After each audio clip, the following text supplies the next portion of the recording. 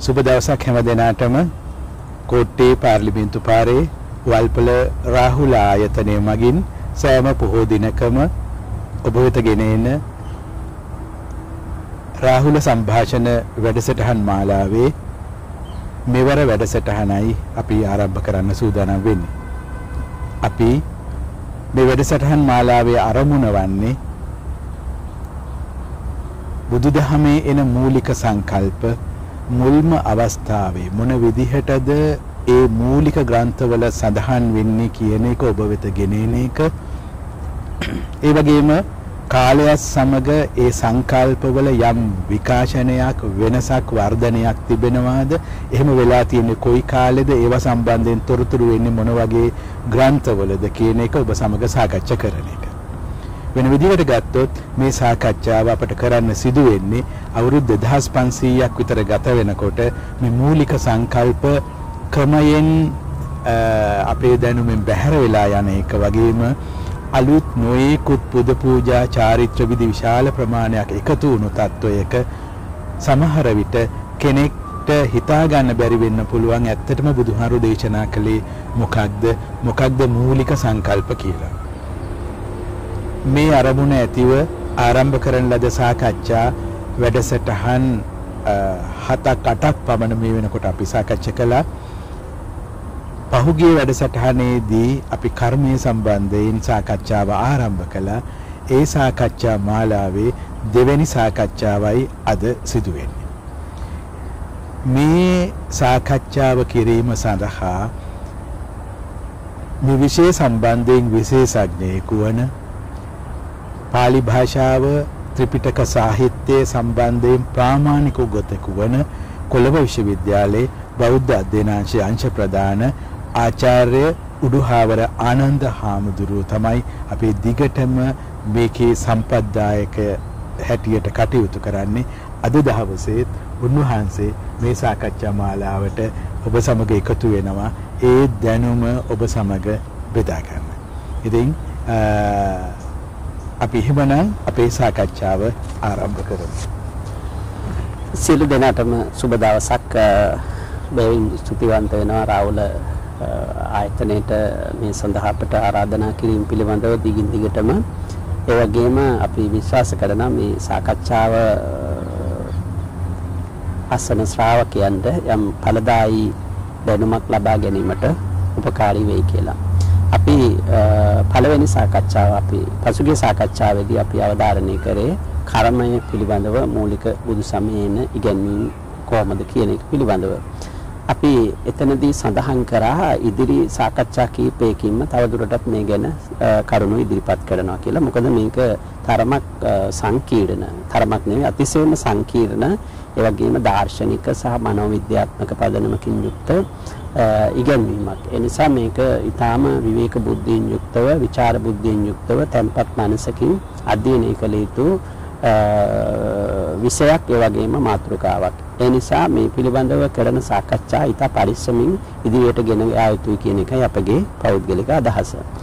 අද අපේ සාකච්ඡාව ආරම්භ කිරීමට පළමුව මම කැමති පසුගිය සාකච්ඡාව සම්බන්ධයෙන් ශ්‍රාවකයන් කීප දෙනෙක් නගලා තිබුණු ප්‍රශ්න කීපයකට ආරම්භයේදීම යම් පැහැදිලි කිරීමක් උත්තර දීමක් වශයෙන් යම් කරුණු පැහැදිලි කිරීමක් කරන්නට ඕන කියලා. ඉතින් එකක් තමයි අපි මේ සාකච්ඡාවේදී සඳහන් කරා මේ සදාකාලික පෞකාරයක් නැහැ කියන එක.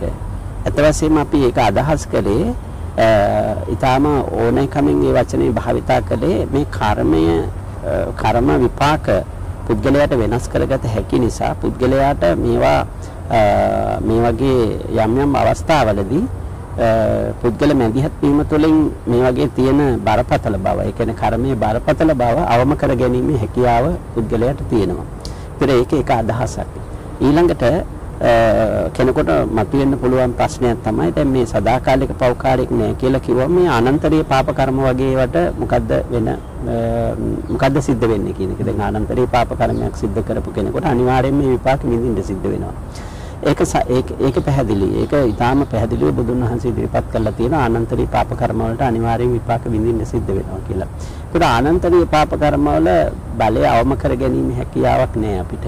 ඒ මොකද ඒ ඒ පාප කර්ම ඊටාම බලවත් ඒවා. දැන් කෙනෙක් මව මරන්න පියා මරන්න පෙළඹෙනවා කියන්නේ එයාගේ මනස ඊටාම දරුණු විදිහේ කැළඹීමකට සහ දරුණු විදිහේ පරිවර්තනයකට ලක් වෙන්න ඕනේ. එවැනි එවැනි චේතනාවක් පහළ වීමට. ඒ නිසා තමයි ඒ ඒ ඒ කර්ම ඊටාම ගැඹුරු ඒවා හැටියට දක්වලා තියෙන්නේ. ඒ වගේම දැන් අපි ගත්තොත් එහෙම බුදුන් වහන්සේ ඝාතනය කරන්න. රහතන් වහන්සේලා ඝාතනය කරන්න. දැන් එවැනි උත්තරමයන් අපි විස්තර කරන්නේ ආධ්‍යාත්මික වශයෙන් ඊටාම ඉහළ තලයක ඉන්න පුද්ගලයන් හැටියට. ඒකට කිසියම් ආධ්‍යාත්මික වශයෙන් ඊටාම දීනු කිසිම කෙනෙකුට කිසිම කරදරයක් නැති සාන්තුවරයෙක් වගේ කෙනෙක් ඝාතනය කරන්න චේතනාවක් පහළ වෙනවා කියන එකත් ඒක ඊටාම දරුණු මානසික පෙළඹවීමක්. එතන මෙන්න මේ නිසා මේ මේ කර්ම අනන්තරීය පාප කර්ම අනිවාර්යයෙන් මේවට මූණ දී යුතු කර්ම හැටියට දක්වලා තියෙනවා. දැන් අපිට ඒකට හොඳ උදාහරණයක් තියෙනවා සාමාන්‍ය ඵල සූත්‍රයේ අවසානයේදී අජාසත් රජතුමා පිළිබඳව බුදුන් වහන්සේ හා අජාසත් රජතුමා අතර ඇතිවන සාකච්ඡාව සාමාන්‍ය ඵල සූත්‍රයේ ඊටාම වැදගත් සූත්‍ර දේශනාවක්. අපි දන්නවා අපේ බෞද්ධ ඉතිහාසය අනුව බුදුදහමේ ව්‍යාප්තිය සඳහා විශාල දායකත්වයක් දරපු රජ කෙනෙක් තමයි පාලකයෙක් තමයි අජාසත් රජතුමා. එතකොට දැන් ඒ බුදුන් වහන්සේ සහ අජාසත් රජතුමා අතර සාකච්ඡාව අවසන් වෙලා මේ ඔහු බුදුන් වහන්සේගේ සාකච්ඡා සහ ඕ අතර සාකච්ඡාව අවසන් කළා ඔහු නැගිට ගියාට පස්සේ බුදුන් වහන්සේ භික්ෂුන් වහන්සේලා අමතලා ප්‍රකාශ කරනවා මේ පියාමරු අකුසලය පියාමරු පාප කර්මය මෙයාට නොතිබුණා නම් මෙයා මේ අවස්ථාවේදීම විමුක්තිය සාක්ෂාත් කරනවා කියලා. එතකොට දැන් ඒ එවැනි හැකියාවක් ඔහුට තිබුණා කියන එක. එතකොට අර පාප කර්මය නිසා ඔහුට ඒ ඒ හැකියාව අවදි කරගන්න, ඒ தත්ත්වය අවදි කරගන්න නොහැකි වුණා කියන එක බුදුන් වහන්සේ ප්‍රකාශ කරනවා. ඒකට අපිට පැහැදිලි මේ අර තමන් කරපු වරද තේරුම් අරගෙන ඒ නිවැරදි කෙනෙක් වුණත් අර කර්මයේ බලපෑමෙන් ඔහුට නිදහස් වෙන්න බෑ. නමුත් ඒ ඒක වළංගු වෙන්නේ අත් වශයෙන්ම අනන්තරීය පාප කර්ම වලට විතරයි. අනිකුත් පාප කර්ම සම්බන්ධයෙන් ගත්තම පුද්ගල ශක්තිය මත සහ අර මේ මූලික සූත්‍ර දේශනාවල එන ඇතන් ඉගැන්වීම් අනුව ඒ වගේ ප්‍රබල බව අවම කරගන්න පුළුවන්කම තියෙනවා. අන්න ඒ ඒක අපි මෙතනදී මතු කරන්නට මතු කරගන්නට ඕන කාරණයක්. මොකද අපි මේ කියන කාරණා අපි මෙතනදී කරුණ ඉදිරිපත් කරන්නේ මූලික සූත්‍ර දේශනා පදනම් කරගන්නේ. එතකොට මේකෙදි අපි අපේ පෞද්ගලික මතවාද එකතු කරන්නේ නැහැ. අපි ඔබට විවෘත කරන්නේ මේ මූල ග්‍රන්ථ වලට ගිහිල්ලා ඒ මූල ග්‍රන්ථ පරිශීලනය කරලා ඔබට මේ අපි කියන කාරණේ සත්‍යද අසත්‍යද කියලා පරීක්ෂා කරන්න නිදහස තියෙනවා. ඒ කියන්නේ මේක මේ අපි මේ බලහත්කාරයෙන් අපේ මතවාදයක් ආරෝපණය කිරීම නෙමෙයි කරන්නේ. දැන් හාමුදුරුවෝ සූත්‍රවල නම් කියනවා. එතකොට අද අන්තර්ජාලයේ මේ සූත්‍ර තියෙනවා. එතකොට අවස්ථාව තියෙනවා කෙනෙකුට ගිහිල්ලා මේවා කියවලා තව දුරටත් දැනුම තහවුරු කරගන්න. ඒකට ඉතින් ඒ නිසා මේක හිතන්න එපා මේ මං කියන දේ අවසාන වචනේ හැටියට පිළිගන්න අවශ්‍ය නැහැ. අපි අපි කරන්නේ මේ මේ යටපත් වෙලා තියෙන කාරණයක් මතු කරලා දෙන එක මතු කරලා දෙන එක තුලින් තව දුරටත් ඔබට ඉස්සරහට යෑමට නිදහස තියෙනවා. ඔබට ඒ ගැන සාකච්ඡා කරන්න නිදහස තියෙනවා. ඒ ගැන ਵਿਚාරය කරන්න, ඒ ගැන විමර්ශනය කරන්න නිදහස තියෙනවා. මොකද අපි බලන් අපි ඉදිරිපත් කරන්නේ මූලික සූත්‍ර දේශනා පසුබිම් කරගෙන ඒව මත ඉඳගෙන. ඊළඟට දෙවෙනි තවත් ප්‍රශ්නයක් මතු කරලා තිබුණා මේ මේ කර්මය සතුන් හා සම්බන්ධ කරන කාරණේ සතුන්ගේ ජීවිතය හසන. අපි ඒ සාකච්ඡාවේදී මූලික වශයෙන්ම අවධාරණය කරා මේ කර්මය කියන්නේ මනෝවිද්‍යාත්මකව විශ්ලේෂණය කරපු ඉගැන්වීමක් මනෝවිද්‍යාත්මක පදනකින් යුක්ත එකක්. ඒක සතුන්ට ආරෝපණය කරලා තේරුම් ගන්න යෑම නොකළ යුතු දෙයක් කියන එකයි.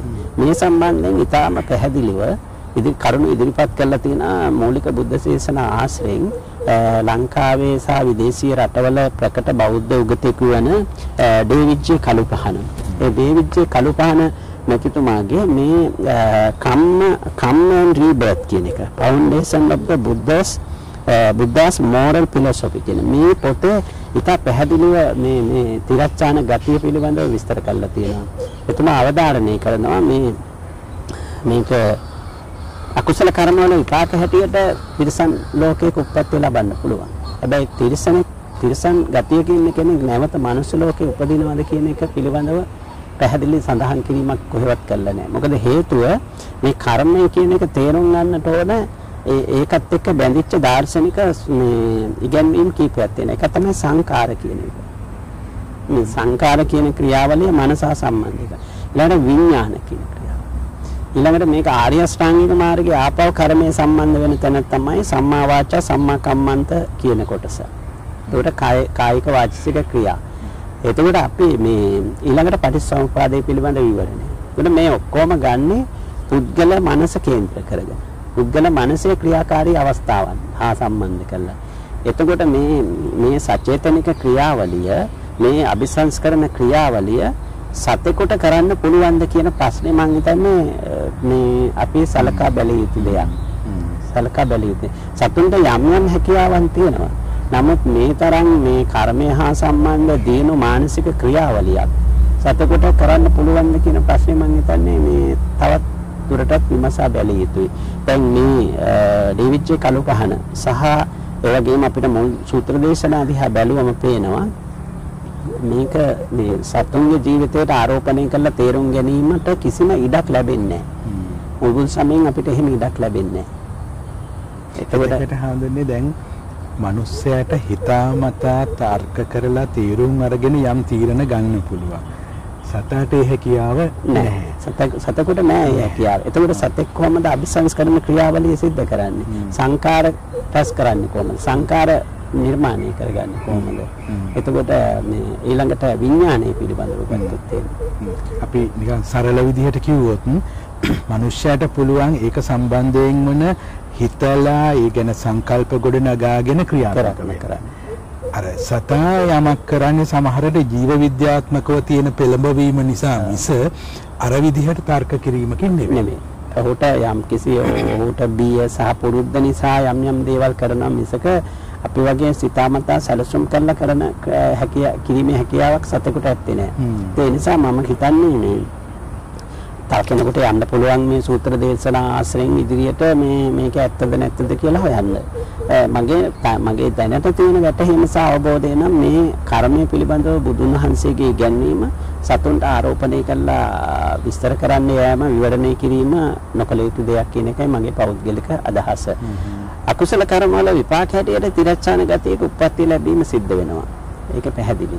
නමුත් තිරිසන් ආත්මික ඉඳලා ආපහු මනුස්ස ආත්මයට එනවද දිව්‍ය ආත්මයකට යනවද කියන එක පිළිබඳව දිව්‍ය දිව්‍ය ලෝකයක හෝ මනුස්ස ලෝකයක උප්පත්ති ලබනවද කියන එක පිළිබඳව කිසිම සාධකයක් සඳහනක් නැහැ. අනිත් පැත්තෙන් මේ පංච ගති විශ්ලේෂණය කරනකොට බුදුන් වහන්සේ යොදලා තියෙන තාක්ෂණික පද විශේෂ වචන පිළිබඳවත් අපි සැලකිල්ල යොමු කළ යුතුයි. දැන් මනුස්ස ලෝක දිව්‍ය ලෝක කියලා කියනවා. ඊට පස්සේ තිරච්ඡාන යෝනි කියන වචනේ යොදන්නේ. පෙත්ති විෂය කියලා කියන්නේ යොදන්නේ. පෙත්ති විෂය කියලා කියනවා. ඒ වගේම තිරච්ඡාන යෝනි කියලා කියනවා. මනස ලෝක දිව්‍ය ලෝක කියන වචනේ යොදන්නේ නැහැ. ඒ ලෝක කියන එක යොදන්නේ මනුස්සයාට සහ දෙවියන්ට විතරයි. දෙවියන් හා සම්බන්ධ කාරණාවලදී විතරයි. ඒතකොට මේ පරයය පද දිහා බැලුවා මේ තාක්ෂණික පද දිහා බැලුවමත් අපිට පේනවා ඒ වගේ දාර්ශනික පැත්ත කියන්නේ. එතකොට දැන් මේ ඊට පරිස්සමින් තමයි බුදුන් වහන්සේ මේ වචන යොදලා තියෙනවා. එතකොට අපි ඒ ගැන සැලකිලිමත් විය යුතුයි. මොකද මේ මේ දාර්ශනික සංකල්ප අපි අවබෝධ කරගන්නකොට ඒවා යොදලා තියෙන સંદર્ભයේ තේරුම් ගන්නට ඕන. ඒවා යොදලා තියෙන්නේ මොන අරමුණින්ද කියන එක තේරුම් ගන්නට ඕන. ඒ වගේ භාෂා විද්‍යාත්මක ලක්ෂණ මොනවාද කියලා අපි තේරුම් ගන්නට ඕන. ඒවත් එක්ක බැඳී තිබෙන සංස්කෘතීන් සහ විශ්වාස පද්ධතිය මොකක්ද කියන එකත් තේරුම් ගන්නට ඕන. ඔය ඔක්කොම සංකලනය කරලා තමයි අපි අවසානයේ නිගමනයකට එන්නට ඕන. ඒ දැන් අපි අපිට දැන් මේ අපිට පැහැදිලි මේ සත්‍ය ලෝකය හා සම්බන්ධ කාරණා බුදුන් වහන්සේ ඉදිරිපත් කළා තියෙන්නේ මිනිසා සදාචාර සම්පන්න කිරීමේ ප්‍රයෝගිතාමය පදනමකින් මිසක ඒක සත්තුන්ට ආරෝපණය කරන්න නෙවෙයි අත් වශයෙන්. සත්තුන්ට ආරෝපණ. දැන් අපි දන්නවා 550 ජාතක පොතේ කතා කරනකොට ඒ ඒකේ සත්තුන් ඉන්නවා. එතන මේ සත්තු යොදාගෙන සදාචාරයේ පිළිබඳව කතා කරන එක පෙරදිග සාහිත්‍ය සම්ප්‍රදායේ තිබුණ එකක්. දැන් අපිට පේනවා අපි වෛදික වෛදික සහ බ්‍රාහ්මණ ඒ වගේම Hindu සහ සංස්කෘත උපදේශ සාහිත්‍යයට ගියාම ඒ උපදේශ සාහිත්‍ය වල ඉන්න සත්තු තමයි කතා කරන්නේ. හැබැයි මේ සත්තුන්ගේ චර්යාවන් මේ මිනිස්සුන්ගේ චර්යාවන් සත්තුන්ට ආරෝපණය කළා තමයි තේරුම් අරගෙන තියෙන්නේ.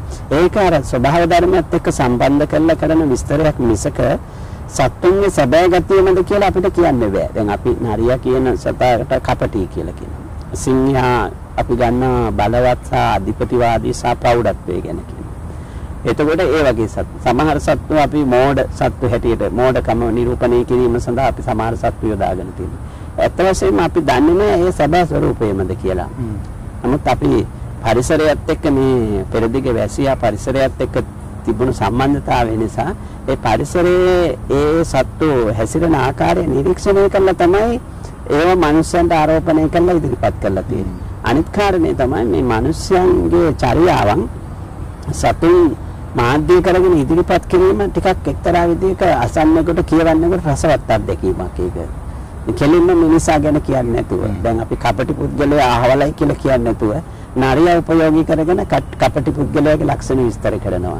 ඒක යම් කිසි එක ස්වභාව ධර්මයට සම්බන්ධ කරලා තියෙන අනිත් පැත්තෙන් අර අර කපටි පුද්ගලයාගේ ඍජුව චරිත ඝාතනය කරන්නේ නැතුව සතෙකුට ආරෝපණය කළා ඒ සතා තුළින් මේක ඉදිරිපත් කරනවා.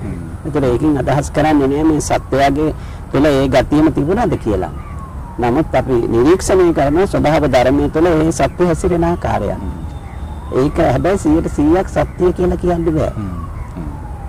එහෙම එකක් නෑ. මොකද සත්තුන්ට විඥානයක් නෑ. සත්තුන්ට දිනු මනසක් නෑ. සත්තුන්ට එවැනි අபிසංස්කරණ ක්‍රියාවලියක නිරත වෙන්න පුළුවන් හැකියාවක් නෑ. ඒ නිසා මේක අපි අවධාරණය කළ යුතු සාකච්ඡාවේ ආරම්භයේදී මේක සත්තුන්ට දාලා සත්තුන්ට ආරෝපණය කරලා තේරුම් ගන්න උත්සාහ ගන්න එපා කියන එකයි මගේ පෞද්ගලික අදහස. හඳුන්නේ අර හාරු සඳහන් කළ ජාතක සම්බන්ධව ඒ වගේ ඒ ගැන ප්‍රශ්නකුත් ඇවිත් තිබුණා. ඒක ඉස්සරහට සාකච්ඡා වෙනවා. නිධානයේ මේ සංකල්පයේ දියුණු විකාශනයේදී ජාතකවල එන සාහිත්‍ය ඉස්සරහට කතා කරනවා. ඊපස්සේ සාකච්ඡාවලදී අපි දැන් මේ සාකච්ඡාව දැන්ට යන්නේ මූලික සූත්‍ර දේශනා පදනම් කරගෙන ඊට පස්සේ අපිට පශ්චාත් සාහිත්‍යයට යනකොට පශ්චාත් සාහිත්‍යය තුළ මේ සංකල්ප කුමන කුමන දිශාවන් වලට ගිහිල්ලා වර්ධනය වෙලා තියෙනවද? මේවට අලුත් අදහස් කොච්චර එකතු වෙලා තියෙනවද? ඒ එකතු වෙච්ච අදහස් වල තියෙන මේ විසමතා මොනවද කියලා අපිට දැනගන්න පුළුවන්. දැන් සමහර ඒවා තමයි අපි පසුගිය සාකච්ඡාවෙත් ඒක අවධාරණය කරා මේ කාන්තාව දිහා බලන දෘෂ්ටිය. කර්මය මූලික කරගෙන කාන්තාව දිහා බලන දෘෂ්ටිය ඊටාම ඊටාම අසාධාරණයි. ඒක ඊටාම අසාධාරණයි. ඒ ඒ කාන්තාව පහත් කර්මයේ මූලික කරගෙන කාන්තාව පහත් කොට සැලකීම කියන එක බුදුන් වහන්සේ කිසිසේත්ම කියපු දේශනා කරපු ඉගැන්වීමක් නෙමෙයි. කිසිසේත්ම අවධාරණය කරපු එකක් නෙමෙයි. නමුත් අපේ විවාහයට ඇවිල්ලා තියෙනවා කාන්තාව ඊටාම පහත් කෙනෙක් හැටියට කර්මානුරූපව විස්තර කරන්න උත්සාහ ගන්නවා. ඉතින් මේක ඇත්තටම මුල් බුද්ධ දේශනා තුළ කොහෙත්ම අන්තර්ගත නොවන සංකල්ප. ඒක ඒක මම හිතන්නේ ඊටම නරක තත්ත්වයක් කියලා මම මම පෞද්ගලිකව හිතන්නේ. ඒකවල පසු කාලීනව ඇතුළත් වෙන්නේ. ඇත්ත වශයෙන්ම දැන් අපි බුදු බෞද්ධ ශාසනය ගත්තොත් එහෙම මේ බුදුදහමට විශාල ලෙස අනුග්‍රහ දක්වලා තියෙන කාන්තාවන්නේ. ශාසනයේ ආරම්භයේ සිටම අපිට පේනවා බහුතරයක් විශාල අනුග්‍රහ දක්වපු පිරිස කාන්තාවන්. ඒ වගේම ඊටාම ඉහළ බුද්ධි තලයක හිටිය මේ භික්ෂුණීන් භික්ෂුණීන් ඒ කියන්නේ මේ රහත් භික්ෂුණීන් වහන්සේලා විශාල පිරිසක් ඉඳලා තියෙනවා. ඒකට දැන් ධම්මදින්නා වගේ ඊටාම ධර්මයේ පිළිබඳ ගැඹුරු ඥානයක් තිබුණු භික්ෂුණීන් ඉඳලා තියෙනවා. ඒගොල්ලන්ට මොකක්ද අපි කරන්නේ?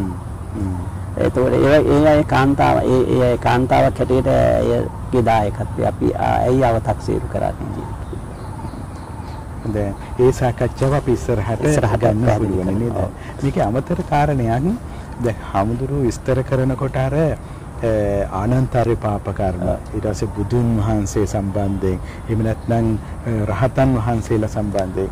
ඒ ඒ වගේ අය ගැන කිසිම කෙනෙකු සම්බන්ධයෙන් අහිතකින් කටයුතු නොකරන එවැනි කෙනෙකු ඝාතනය කරන්න හිතනවා කියලා කියන්නේ එයාගේ මනසේ ලොකු අවු. එතකොට දැන් මෙතන අර හේතුඵල ක්‍රියාවලිය එක ගත්තොත් සමහර දෙනෙකු කටයුතු කරන් යන විදිහට තව කෙනෙකුට කේන්ති යන්න පුළුවන්. අර ඒ වගේ. නමුත් දැන් රහතන් වහන්සේ බුදුන් වහන්සේ වගේ උත්තම චරිත සම්බන්ධයෙන් එවැනි හේතුඵල ක්‍රියාවලියක් එන්න හේතුවක් නැහැ කියන්නේ ඒ අය නපුරු දේ කරන්නේ නැහැ.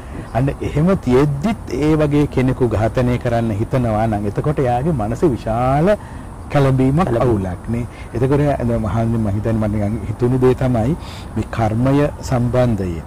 ඒ කියන්නේ ඒ ඒ කටයුත්ත කරන කෙනාගේ මනසේ තියෙන අවුල ඒකේ ගැඹුර එක්ක ඒකේ තියෙන බරපතලකම එක්ක කර්මය වෙනස් වෙන බවක් ඒ වගේ එකක් නේද මේ ඒක ඒක මනසේ ඊටම තද බල විදියට මේ තැම්පත් වෙන මනස තුළ ඊටම තද බල විදියට කිඳා බහින සචේතනික ක්‍රියාවලියක්. දැන් ඒක ඒ නිසා තමයි ඒ ඒ පහ. ගණයට දාලා තියෙන්නේ වශයෙන්. අපිට අපිට පැහැදිලි ඒ වගේ තියෙන බරපතලකම කියන එක. අපිට ඒ බරපතලකම අනුව තමයි ඒවා අනන්තරීය පාප කර්ම හැටියට දක්වලා තියෙන්නේ. හැබැයි ඒ- වගේ විපාක අවසන් වුණාට පස්සේ නැවතත් ඒ පුද්ගලයාට සුගතිගාමී වෙන්න පුළුවන්. පුළුවන්. ඒ ඒකයි මම කිව්වේ මේ අර සදාකාලික පෞකාරයෙන් නෑ කියන එක. එහෙමනම් අනන්තරීය පාප කර්මයක් කරොත් එයාට ඒ විපාක අවසන් අවසන් වීමක් නැතුව දිගටම ඒ තත්ත්වේ ඉන්න පුළුවන් වෙන්න බෑනේ. එහෙම එකක් බුද්ධාමේ නෑ. ඒ අනන්තරීය පාප කර්මයේ තියෙන తත්වය ගෙවල අවසන් වුණාට පස්සේ ඒ බලපෑම අවසන් වුණාට පස්සේ යාට ආපහු යහපත් තත්වයකට එන්න පුළුවන්. අපිට මෙහෙම කියන්න පුළුවන්ද දැන් අ, අජාසත් තමන්ගේ පියා ඝාතනය කළා. ඒක එතකොට ඒක කිරීම විතරක් නෙවෙයි ඒකෙන් වුණු ම- විශාල මානසික හානියක් එක්ක තමයි එයා ජීවත් වෙන්නේ නේද? එතකොට එයාට අර ගැඹුරු දහම් කාරණා තේරුම් ගන්න ගියාම අර අවුල අර ගැඹුරට කාවදුණු අවුල සහිත මනසට ඒක කරගන්නත් බෑ. ඒක හැමෙකුත් තියනවා නේද? අර ඔව් දැන් එහෙමයි දැන් දැන් මෙතන බුදුන් වහන්සේ අපිට උගන්වන්නේ මේ අකුසල් කරන්න එපා කියලානේ. පව් කරන්න එපා කියලා කියන්නේ. එතකොට එවැනි එවැනි ඉගැන්වීමක් සහිත ශාස්ත්‍රවරයෙක් එක්ක සාකච්ඡා කරාම අර වගේ බරපතල අකුසල කර්මක් තියෙන කෙනෙකුට මේ මේ අකුසල කර්ම වල ආදීනව පැහැදිලි කරනකොට සෑහෙන කම්පනයක් ඇති වෙනවා. ඒ ඒක ඊටම වැදගත් ඒ ඒ සූත්‍රයේ සඳහන් කරනවා අජාසත් රජුරුවම කියන ස්වාමීනි මගේ වරද වරදක් හැටියට දකින්න කියලා. එතකොට බුදුන් වහන්සේගෙන් ඒකට සමාව ගන්නවා. එතකොට බුදුන් වහන්සේ කියන ඔබ ඔබේ වරද වරදක් හැටියට දකිනවා නම් මම ඒක පිළිගන්නවා කියලා.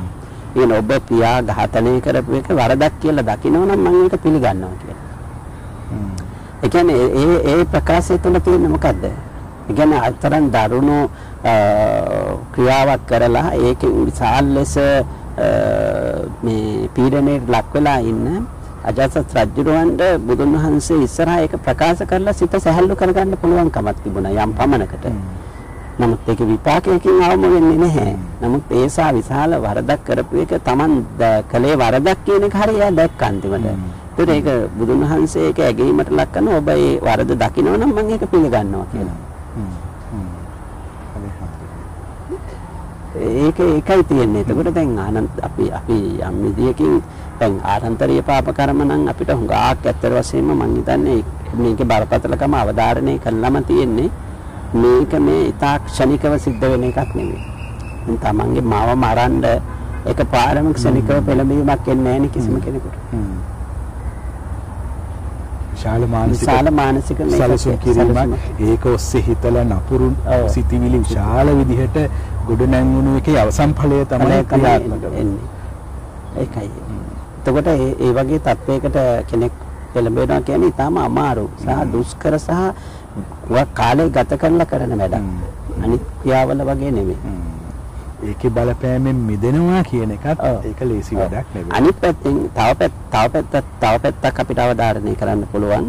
මේ දැන් කෙනෙක් අ, සමාජයක අපි කියමුකෝ දරුවෙක් Tamange පියා ඝාතනය කරනවා නම් මව ඝාතනය කරනවා නම් ඒ පැත්තට සමාජයක් පරිවර්තනය වෙනවා කියලා කියන්නේ මේ සමාජය තුළ මොනතරම් ඛේද වාචකයක්ද? දැන් සාමාන්‍යයෙන් සමාජයේ වැඩි සම්භාවිතාවයක් මව්පියා ඝාතනය කරන සංස්කෘතියකට ගියොත් එහෙම අනිත් අය ගැන මොන විදියකින්වත් ජීවිතය ගැන කතා කරන්න බෑනේ. දැන් අපි කියමුකෝ කෙනෙක් අපේ මව තමන්ගේ මව මරන්න පෙළඹෙනවා. ඒක සාමාන්‍ය දෙයක් බවට පත් වුණු සමාජයක මොකද වෙන්නේ? ඔව්. ඔව්. හ්ම්. හැමෝම තමන්ගේ මව්වරු පියවරු ඝාතනය කරන සංස්කෘතියක් සමාජය තුළ නිර්මාණය වුණොත් එහෙම අනිත් පුද්ගලයන්ගේ ජීවිතය පිළිබඳ මොන විදියකින්වත් විශ්වාසයක් ආ, මේ සුරක්ෂිත බවක් තියනවද? එහෙම සුරක්ෂිත බවක් නැහැ. ඉතින් ඒ නිසා මේක අපි මේ මේ ආනන්තරී පාප කර්ම දිහා අපි බැලිය යුත්තේ විවිධ අංශ වලින් බැලිය යුත්තේ. විවිධ අංශ වලින්. එතකොට ඒකේ අනිත් අකුසල කර්ම වල ස්වභාවයත් ඒ විදිහමයි.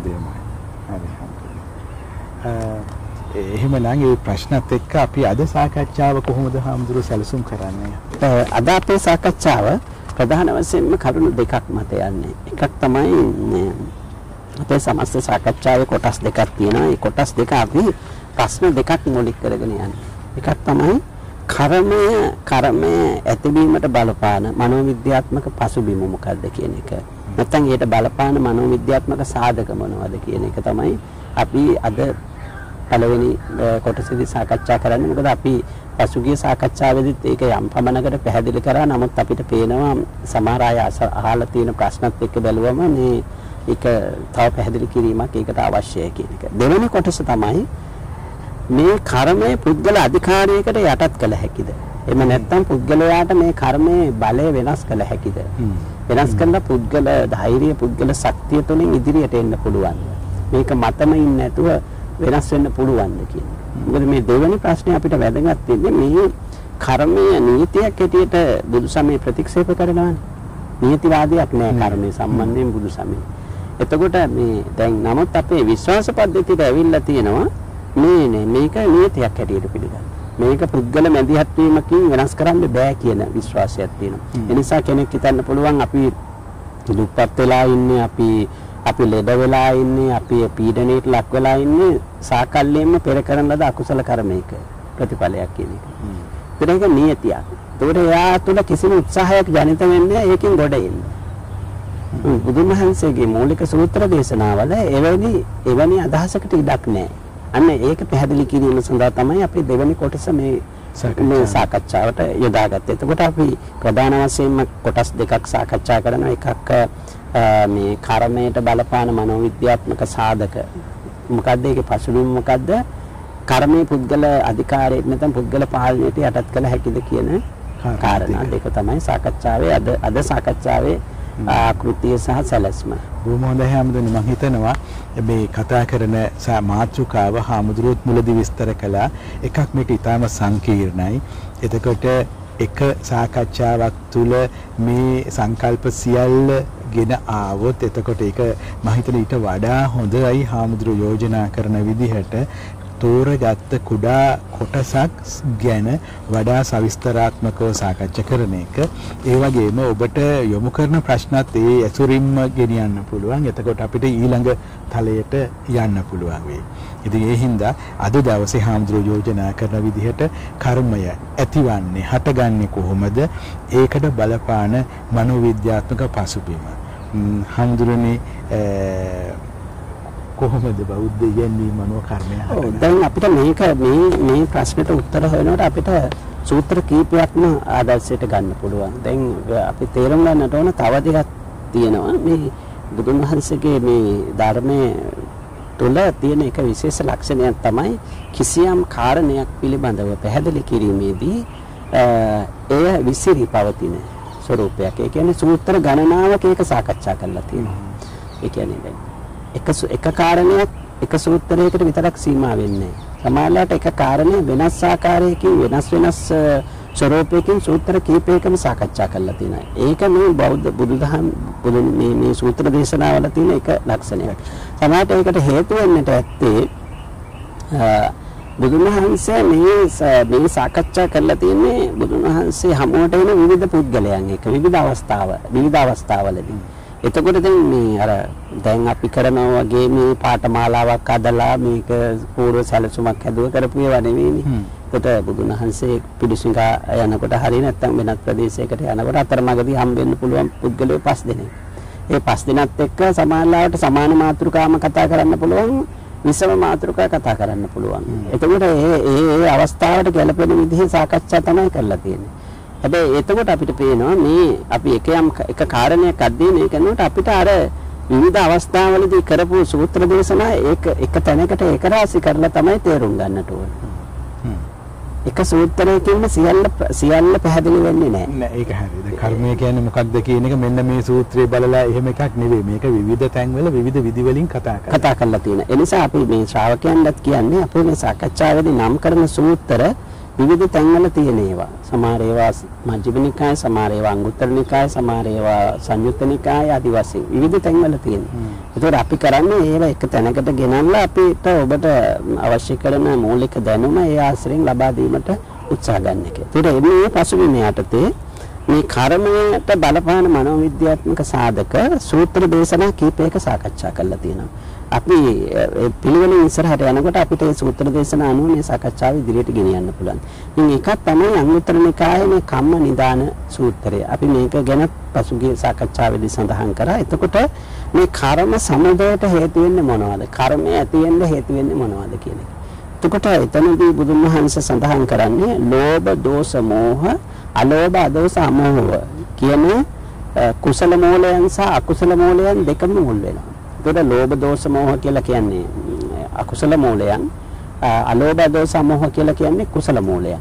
එතකොට කුසල සහගත මනෝවිද්‍යාත්මක සාධක සහ අකුසල සහගත මනෝවිද්‍යාත්මක සාධක. එතකොට කර්මය සචේතනිකව නිසිද්ධ වෙන්නේ අපි සඳහන් කරා චේතනාම් බික්කවේ කම්මං අදාමි චේතයිත්වා කායන වාචා මනස කම්මං කරෝති. ඒ කියන මේ විවරණයට අනුව ඒ සඳහා මේ කයින් වචනෙන් මනසින් ක්‍රියාත්මක වීමට බලාපොරොත්තු බලපාන පසුබිම තමයි ලෝභ දෝෂ මෝහ අලෝභ දෝෂ මෝහ කියන මේ මනෝවිද්‍යාත්මක සාධක 6. එතකොට මේ සාධක 6 පදනම් කරගෙන තමයි කර්මය අපි වර්ග කරන්නේ හොඳ කර්ම සහ නරක කර්ම කියලා. ඉතින් ලෝභ දෝෂ මෝහ මුල් වෙලා සිද්ධ වෙන කර්ම අපි නරක කර්ම නැත්නම් අකුසල කර්ම නැත්නම් පාප කර්ම කියලා වර්ග කරනවා. අලෝභ දෝෂ සමූහ මුල් වෙලා සිද්ධ වෙන කර්ම අපි පුණ්‍ය කර්ම පාප කර්ම කුසල කර්ම කියලා විස්තර කරනවා. නමුත් මෙතනදී මතක තබා ගන්නට ඕන අපි පසුගිය සාකච්ඡාවේදීත් සඳහන් කරා මේ පුණ්‍ය කර්ම සහ කුසල කර්ම කිව්වම ඒක ටිකක් මේ ඒ දෙක අතර වෙනසක් තියෙනවා කියන එක අපි ආරම්භයේදී මතක තබා ගත යුතු කාරණයක්. එතකොට මේ අලෝභ දෝෂ අමෝහ කියන මේ කුසල මූලයන් පදනම් කරගෙන සිද්ධ වෙන ඒවා අපි කුසල කර්ම කියලා කියනවා. ලෝභ දෝෂ මොහ මුල් වෙලා සිද්ධ වෙන ඒවා අකුසල කර්ම කියලා අපි වර්ග කරන එක එක එක පැහැදිලි කිරීමක්. ඊළඟට මේ අලෝභ දෝෂ අමෝහ නිසා කර්මයේ සමුදය වෙනවා ඒ ඒකේ ප්‍රතිඵලය මොකක්ද කියලා විස්තර කරනවා. දැන් අලෝභ දෝෂ අමෝහ තමයි මනෝවිද්‍යාත්මක සාධකය.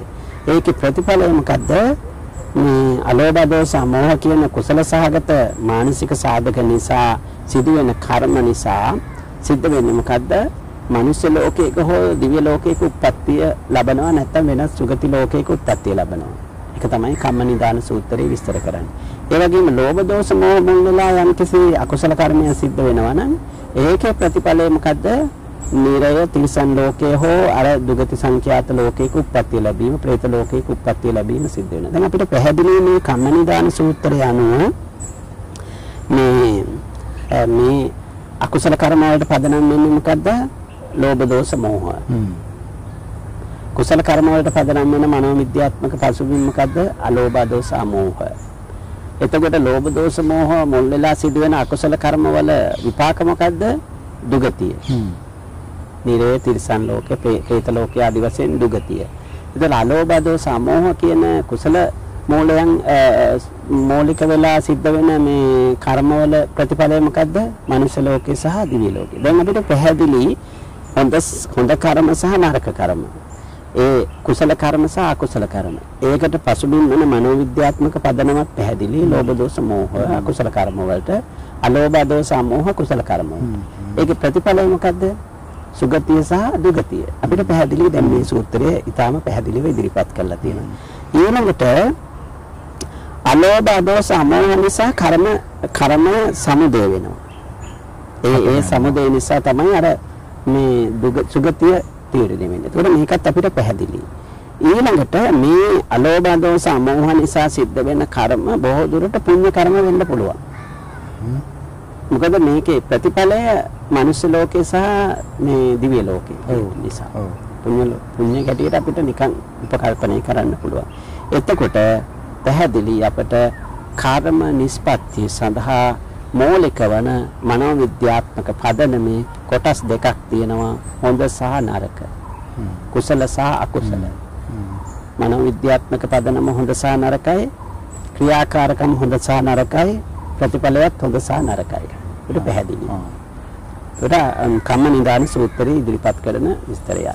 ඊළඟ අපි තවත් සූත්‍රයකට ගියොත් අකුසල මූල කියලා තව සූත්‍රයක් තියෙනවා. ඒ සූත්‍රෙත් මේ මනෝවිද්‍යාත්මක පදනම පැහැදිලි කරනවා.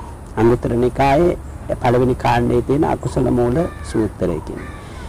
මේකෙදී බුදුන් වහන්සේ කියන අකුසල මූල තුනක් තියෙනවා. මොනවාද? ලෝභය අකුසල මූලයක්. ද්වේෂය අකුසල මූලයක්. මෝහය අකුසල මූලයක්. දැන් අපි මුලින් පැහැදිලි කරේ මේ කම්ම නිදාන සූත්‍රයනේ. ඒකට කම්ම නිදාන සූත්‍රයේ අපිට පැහැදිලි දැන් මේ කුසල අකුසල කර්ම වලට බලපාන මනෝවිද්‍යාත්මක පසුබිම.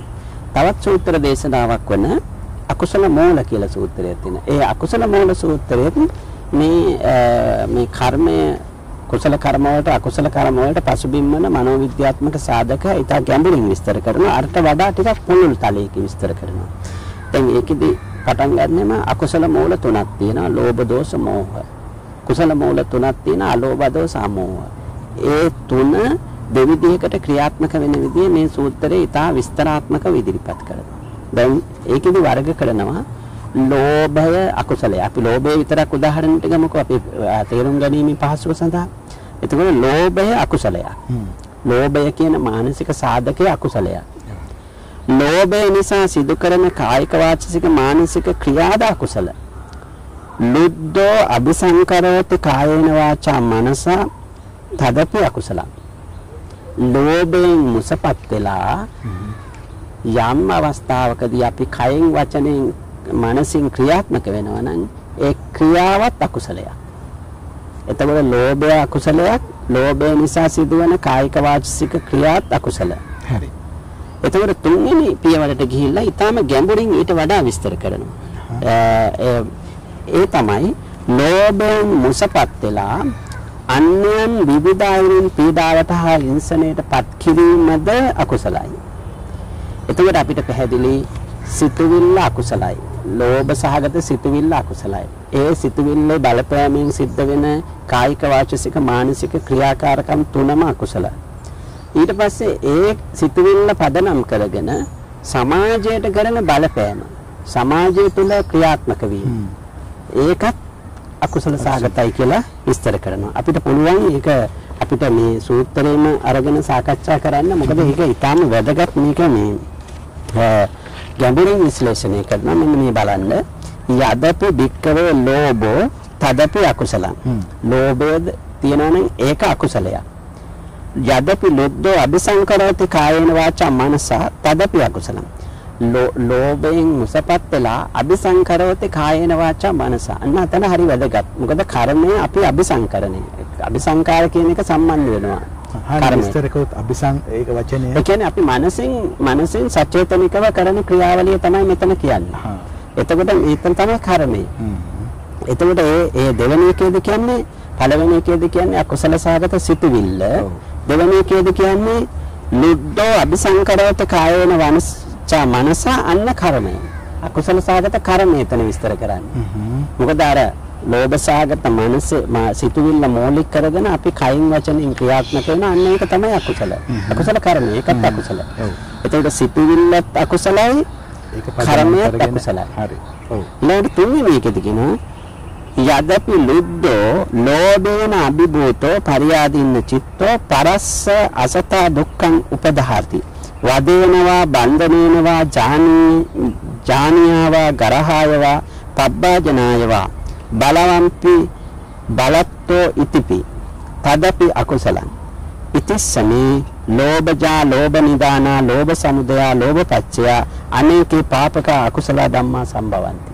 එතකොට මේකේ සරල අර්ථයට ගත්තොත් අපිට මේකේ පාලි පදින් පදේ තේරුම් කරන්න අවශ්‍ය නැහැ සරල අර්ථයට ගත්තොත් ලෝභයෙන් නැඳුණු සිතින් බලවත් වෙමි කියලා හිතාගෙන අනිත් අය දුකට වේදනාවට පත් කරනවා ඒකත් අකුසලයක්.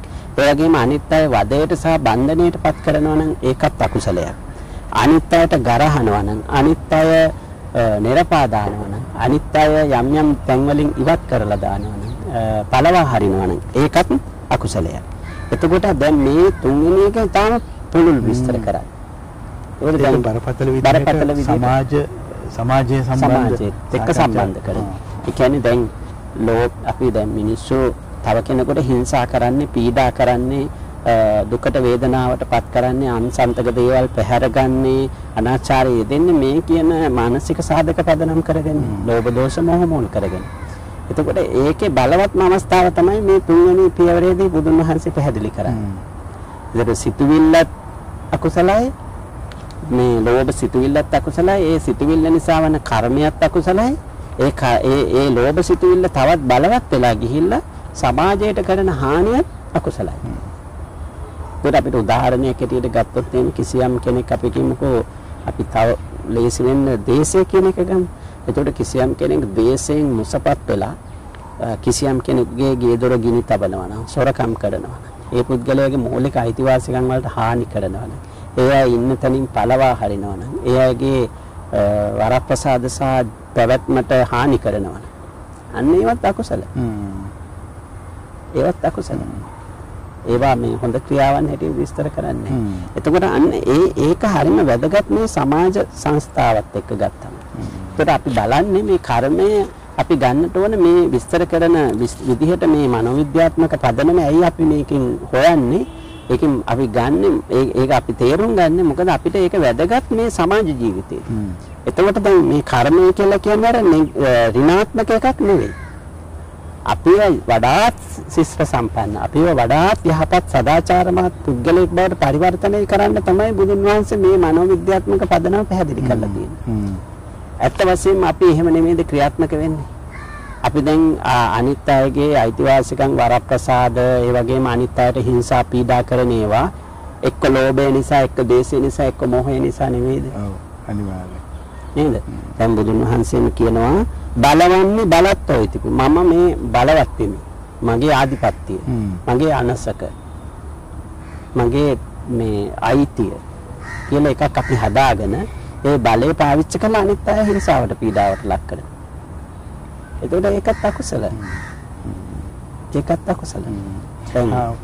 හාමුදුරුවෝ මුලින් මේක සම්බන්ධ වෙනවා මට දැන් කාන්තාව සම්බන්ධයෙන් එන පසෙන සාකච්ඡා ගත්තාම ඒකත් බලය එක්ක නේද? අනිකා පල්ලෙහා දාලා ඒ කියන්නේ ඒක ඇතුලේ තියෙන ඒ කියන්නේ මේ කර්ම විග්‍රහයෙන් ගත්තොත් අතොසින්ම අකුසල කර්ම ගොඩට ඒක අකුසලයක්. ඇත්තට දැන් ඒ කියන්නේ කිසියම් කාන්තා පුරුෂයෙක් හිතනවා නම් මම තමයි ලෝභයෙන් ද්වේෂයෙන් මෝහෙන් මුලාවටපත් වෙලා මම තමයි මෙතන බලවතා මම තමයි මෙතන අධිපතියා කියලා තැනි විදිහට ඒ ඒකෙන් බලකාමයෙන් මත් වෙලා කාන්තාව හිංසාවට පීඩනයට ලක් කරනවා නම් කාන්තාවගේ අයිතිවාසිකම් අහිමි කරනවා නම් ඇයට ලැබිය යුතු වරප්‍රසාද නැති කරනවා නම් ඒකත් අකුසලයක් මේ කියන පදනමාන. එතකොට බුදුන් වහන්සේට අවශ්‍ය වුණේ වඩා පිවිතුරු ශිෂ්ට සම්පන්න සංස්කෘතික සමාජයක් නිර්මාණය කිරීම. ඒ අර්ථයෙන් තමයි මේ කර්මය උන්වහන්සේ ඉදිරිපත් කරන්නේ. දැන් අපි හුඟක් විට ඇයි අපි මේකේ අපි හුඟක් විට ගන්න මේක නිෂේධනාත්මක පැත්තට. ඔව් කර්මය කියලා. කර්මය කියලා නිෂේධනාත්මක පැත්ත. අපි මේකේ ධනාත්මක පැත්ත ගන්නෙ නෑනේ. ඔව්. දැන් අපි තුල වුණත් මෙවැනි ආකල්පයක් ඇති වෙනවා නම් අපි අපි තුළ වුණත් මෙහෙම මගේ මම මේ බලය පාවිච්චි කරන්න ඕන බලය පාවිච්චි කරලා මේ අය පීඩනයට ලක් කරන්න ඕන කියලා අපි තුළ වුණත් ආකල්පයක් ඇති වෙනවා නම් ඒක වළක්වා ගන්න හොඳම අවස්ථාව මේ මනෝවිද්‍යාත්මක පදනම හොඳට අවබෝධ කර ගැනීම. එතකොට දැන් මේ අකුසල අකුසල මූල සූත්‍රයේ මේ විදිහට මේක විස්තර කරනවා. එතකොට මේකේ අර දැන් ලෝභ දෝෂ මෝහ නිසා අර විදිහට හැසිරෙන විදිය. ඒ වගේම අලෝභ දෝෂ මෝහ ගැනත් ඊළඟට කියනවා. ඒ දෙකත් කියනවා. දැන් අලෝභය කුසලයක්, කුසල මූලයක්. අලෝභය නිසා කයින් වචනින් මනසින් ක්‍රියාත්මක වෙනවා නම් ඒකත් කුසල. අලෝභය නිසා අලෝභය තියෙනකොට කිසිම වෙලාවක අර අර කියන බල බල බල තණ්හාවක් එන්නේ නෑනේ. එතකොට අනිත් අය පින්ඩාවට ලක් කරන්නේ නැතුව අනිත් අයට දයාවෙන් අනුකම්පාවෙන් යුක්තව අනිත් අයගේ අයිතිවාසිකම් ආරක්ෂා කර දීම සඳහා සහ අනිත් අයගේ පැවැත්ම සඳහා සහාය වෙනවා නම් ඒක කුසලයක්. ඒක කුසලයක්. අනිත් දැන් දැන් කෙනෙකුට කෙනෙක් දුකට වේදනාවට පත් වෙලා තියෙනවනේ එයාව එයාව එයාට උපකාර කරනවනේ එයා ඊ මුදවා ගැනීමට උදව් කරනවා. ගියක් ගිනි තැබීම නෙමෙයි ඒක අකුසලයන්නේ කිසියම් කෙනෙකුගේ වාසස්ථානයක් ඒ පුද්ගලයාට අහිමි කරන එක අකුසලයක්. ඒ වාසස්ථානයක් හදලා දෙන එක කුසලයක් කුසලයක්. ඒ වගේම දැන් ඔය අයිතිවාසිකම් කියලා වචනය බොහෝ විට අ, සැලකෙනවා නෙමේ බටහිර සංකල්ප කියලා. දැන් මේ පදනමේ මුකුත් මේවට අනන්‍යතා කොහෙ එහෙම නැතිව මේක ගත්තොතින් මේකේ මනෝවිද්‍යාත්මක පදනමේ ඉඳලා කුසල කියන කොටසට අයිති වෙනවා අන් අයගේ අයිතිවාසිකම් රැකලා දෙන්න. ඒක ඒක සම්පූර්ණයෙන්ම මේ බෞද්ධ කියවීම තුළ කුසලමය ක්‍රියාව කුසල ක්‍රියාව කුසල ක්‍රියාවක් හැටියට දක්වන්නේ. මේ කියන විවරණය අනුව ඒක පැහැදිලි අපිට. ඊළඟට මේ සූත්‍රයේ දෙවෙනි කොටසට යනකොට පැහැදිලි කරනවා දැන් මෙන්න මේ කියන අර ලෝභ දෝෂ මෝහ සිතුවිලි තියෙන ඒ අනුව ක්‍රියා කරන ඒ අනුව සමාජයට හිංසා කරන පුද්ගලයා හඳුන්වන වචන කීපයක් මේ සූත්‍රයේ ඉදිරිපත් කරනවා. ඒ තමයි අදම්මවාදී අවිනයවාදී කියලා. අධර්මවාදී අවිනයවාදී කියලා. කියන්නේ එයා අධහැමි පුද්ගලයෙක් විනයක් නැති පුද්ගලයෙක් හැටියට සදාචාර සම්පන්න නොවන පුද්ගලයෙක් හැටියට තමයි අ, නිර්වචනය කරන්නේ. එතකොට අ, ඒ ඒ ඒකට හේතුව තමයි එයාගේ අර ම- සාවද්‍ය චර්යාව අ, මේ මෙලෝ වශයෙන් ඔහුට හානි කරයි ඒ වගේම පරලොව ජීවිතයටත් හානි කරයි. එතකොට දැන් මේ ලෝභ දෝෂ මෝහ කියන අකුසල මානසික සාධක නිසා යම් කිසි කෙනෙක් ඒ විදිහට හැසිරෙනවා නම් ඒ පුද්ගලයාගේ චර්යාව නිසා ඒ පුද්ගලයා මෙලෝ වශයෙන් දුකටපත් වෙනවා. ඒ වගේම මරණින් පස්සේ දුගතියක උප්පත්තිය ලබනවා කියලා මේ සූත්‍රයේ විස්තර කරනවා. එතකොට අපිට පැහැදිලි ප්‍රතිඵලය මොකක්ද කියලා. දැන් අර කම්ම නිදාන සූත්‍රයට වඩා මේ සූත්‍රය ටිකක් තව ඉස්සරහට ගිහිල්ලා තියෙනවා ඒ කාරණේ. කම්මනිදාන සූත්‍රයේට ඒකයි මම අර මුලින්ම සඳහන් කරේ හම්දුරනේ මේ අපි මේ ධර්මයේ තේරුම් ගන්නකොට හරිම මේ පැතිරලා තියෙන තැන් ඔක්කොම එකතු කරලා තමයි ගන්න ඕනේ. මොකද එකකට සීමා වුණොත් අපිට තේරුම් ගන්න අමාරුයි. ඒ නිසා මේ බුදුදහම හදාරන එක ලේසි පහසු වැඩක් නෙමෙයි. අපිට සමස්ත අදහස කොහොමද ගන්න කියලා. දැන් අපි කිසියම් කෙනෙක් එක කෑල්ලක් විතරක් අරගෙන ඒකෙන් සමස්තය ගත්තොත් එහෙනම් ඒක බුද්ධහමට කරන අසාධාරණයි. එක කෑල්ලක් විතරක්. දැන් අපි සමහර අය එහෙම කරනවානේ. සමහර ප්‍රශ්න ඒගොල්ලන්ට වාසි සහගත විදියට අරගෙන තියෙනවා. දැන් ඒ එහෙම වාසි සහගත විදියට අරගෙන ඒවා නිර්වචනය කරනවා. ඒක වැරදි. ඒකත් අපි මෙතනදී පරිස්සම් වෙන්නට ඕන කාරණයක්. එතකොට දැන් දැන් අර අවිනයවාදී අධර්මවාදී පුද්ගලයාගේ හැසිරීම නිසා ඒ පුද්ගලයා සමා තමන්ම දුකටපත් වෙන මෙලෝ වශයෙන් ඒ වගේම පරලෝව වශයෙන් දුගතික උප්පත්තිය. දැන් බලන්න ඕනෑම අයහපත් ක්‍රියාවක ඉස්සෙල්ලාම වින්දිතය බවට පත්වන්නේ කරපු පුද්ගලයා. ඒ කරපු පුද්ගලයා කවදාකවත් ඒ ක්‍රියාව අවසන් වෙලාට පස්සේ සතුටින් ඉන්නේ ඒ පුද්ගලයා දෙයාකාරයකින් පීඩනයට ලක් වෙන. එක්ක තමන් කරපු ක්‍රියාව පිළිබඳව බරපතල විදියට ਸੰతాපයට, චිත්ත ਸੰతాපයට, මානසික පීඩනයට, වේදනාවටපත් වෙනවා. දෙවැන්න තමයි එයා මනසත් එක්ක විශාල අරගලයක යෙදෙනවා තමන් කරපු ක්‍රියාව සාධාරණීකරණය කිරීම සඳහා. ඒ සඳහා විවිධ දේවල් පාවිච්චි කරනවා. මම මේක කරේ මේ හේතුව නිසා, මේ හේතුව නිසා. එක්ක මම කියනවා මම මේ දේ කරේ රට ජාතිය ආගම් බේරගන්න කියලා කියනවා. එහෙම නැත්නම් මේ අපේ සංස්කෘතිය රැකගන්න කියලා කියනවා.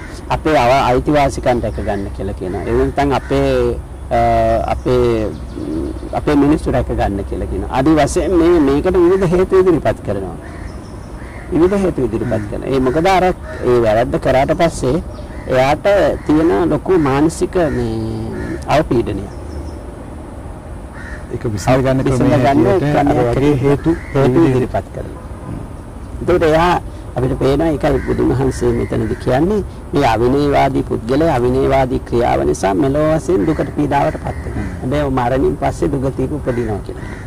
එතන අර අජාසත්ත කතාවේ අජාසත්තටත් ඕකට සාධාරණීකරණ හේතු මොන හරි තියෙන්න ඇතිනේ යාට කියන්න දෙයක්. හැබැයි දැන් බුදුහාර කියන්නේ ඔබ ඒක වැරද්දක් හැටියට පිළිගන්නවා නම් ඒක එතකොට අර කියන හේතු දක්වන වැඩේ අතහැරලා අතහැර.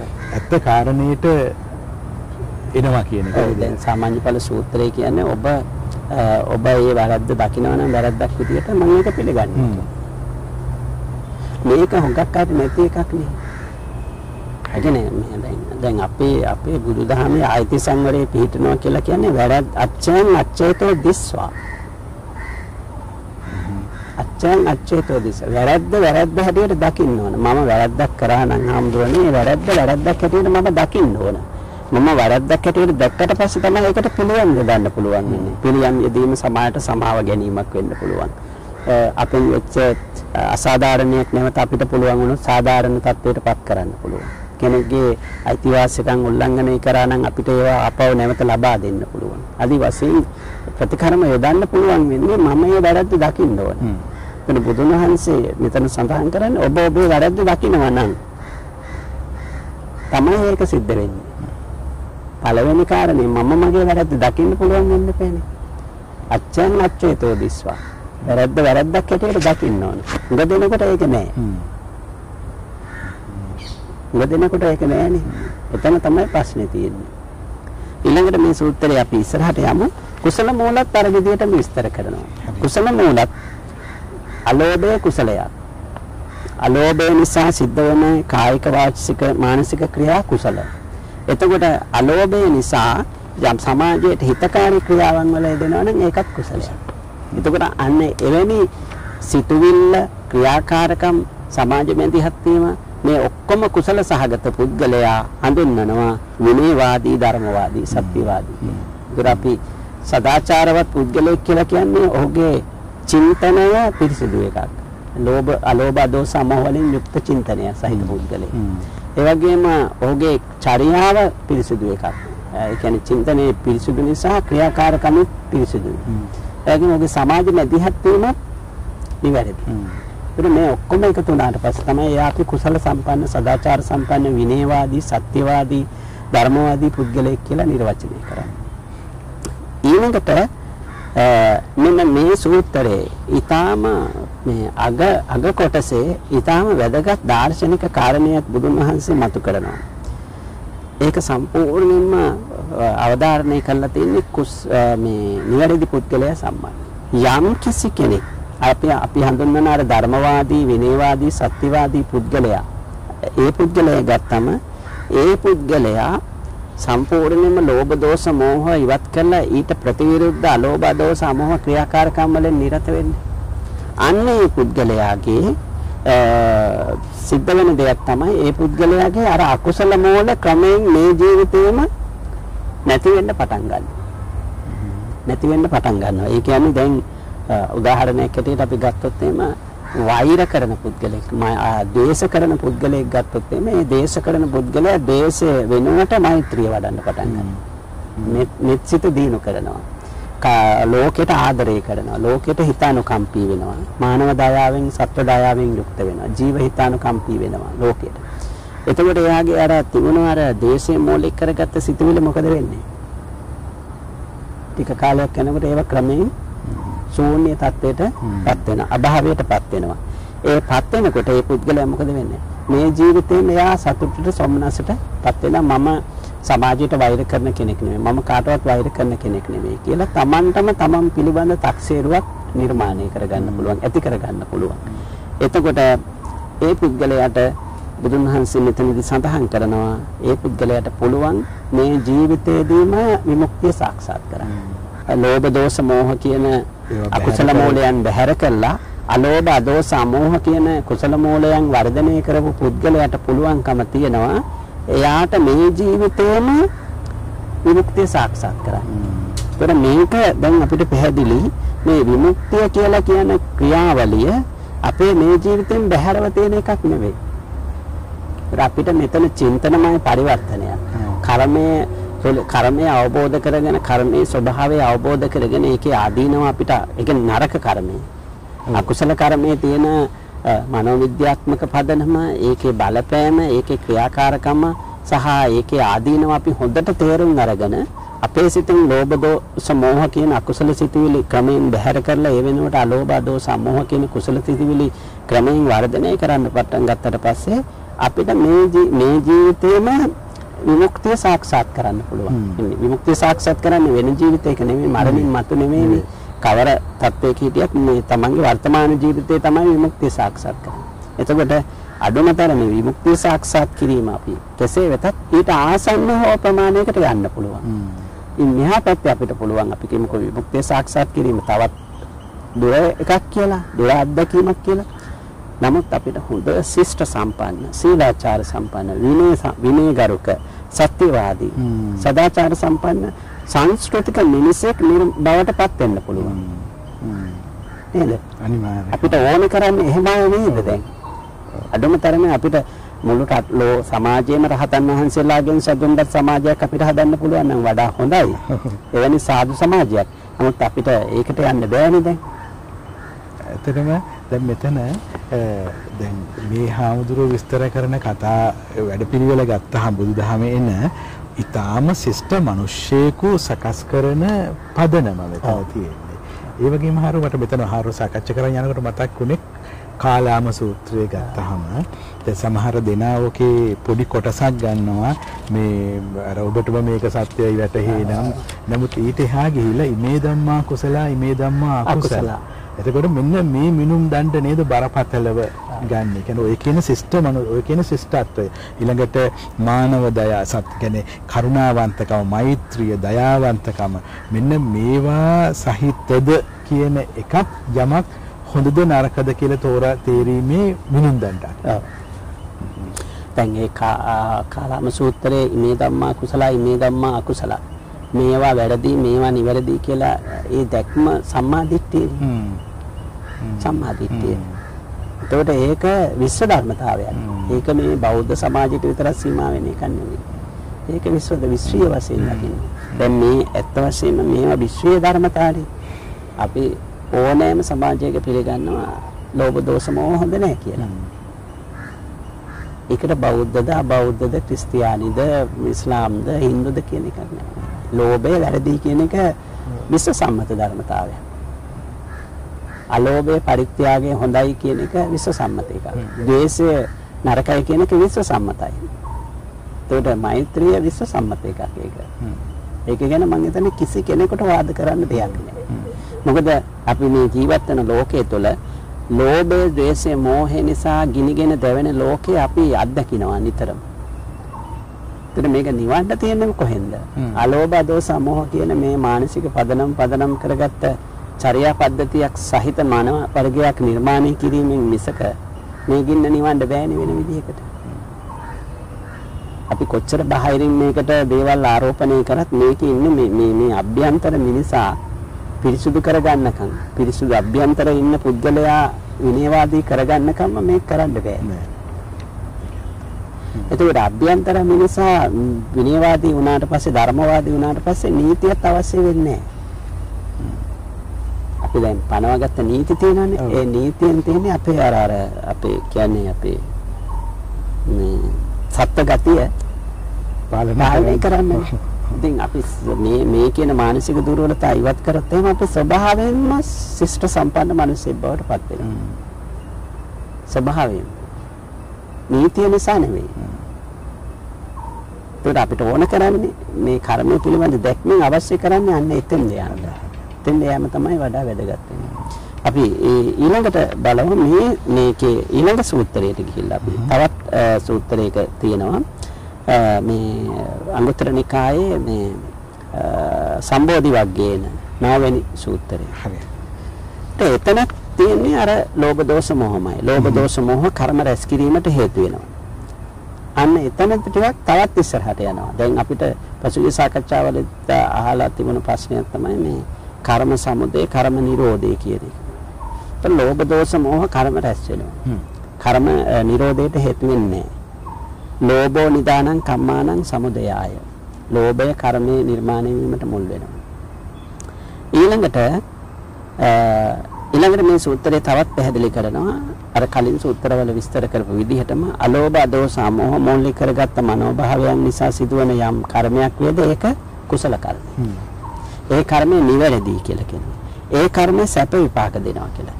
ඒ කර්මය කර්ම නිරෝධයේ පිණිස මිස කර්ම සමුදය සඳහා ඉවහල් නොවේ.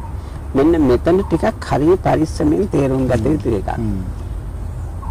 දැන් ලෝභ දෝෂ මෝහ කර්ම සමුදය සඳහා ඉවහල් වෙනවා. අලෝභ දෝෂ අමෝහ වලිනුත් කර්ම සිද්ධ වෙනවා. හැබැයි ඒ කර්ම නිවැරදි.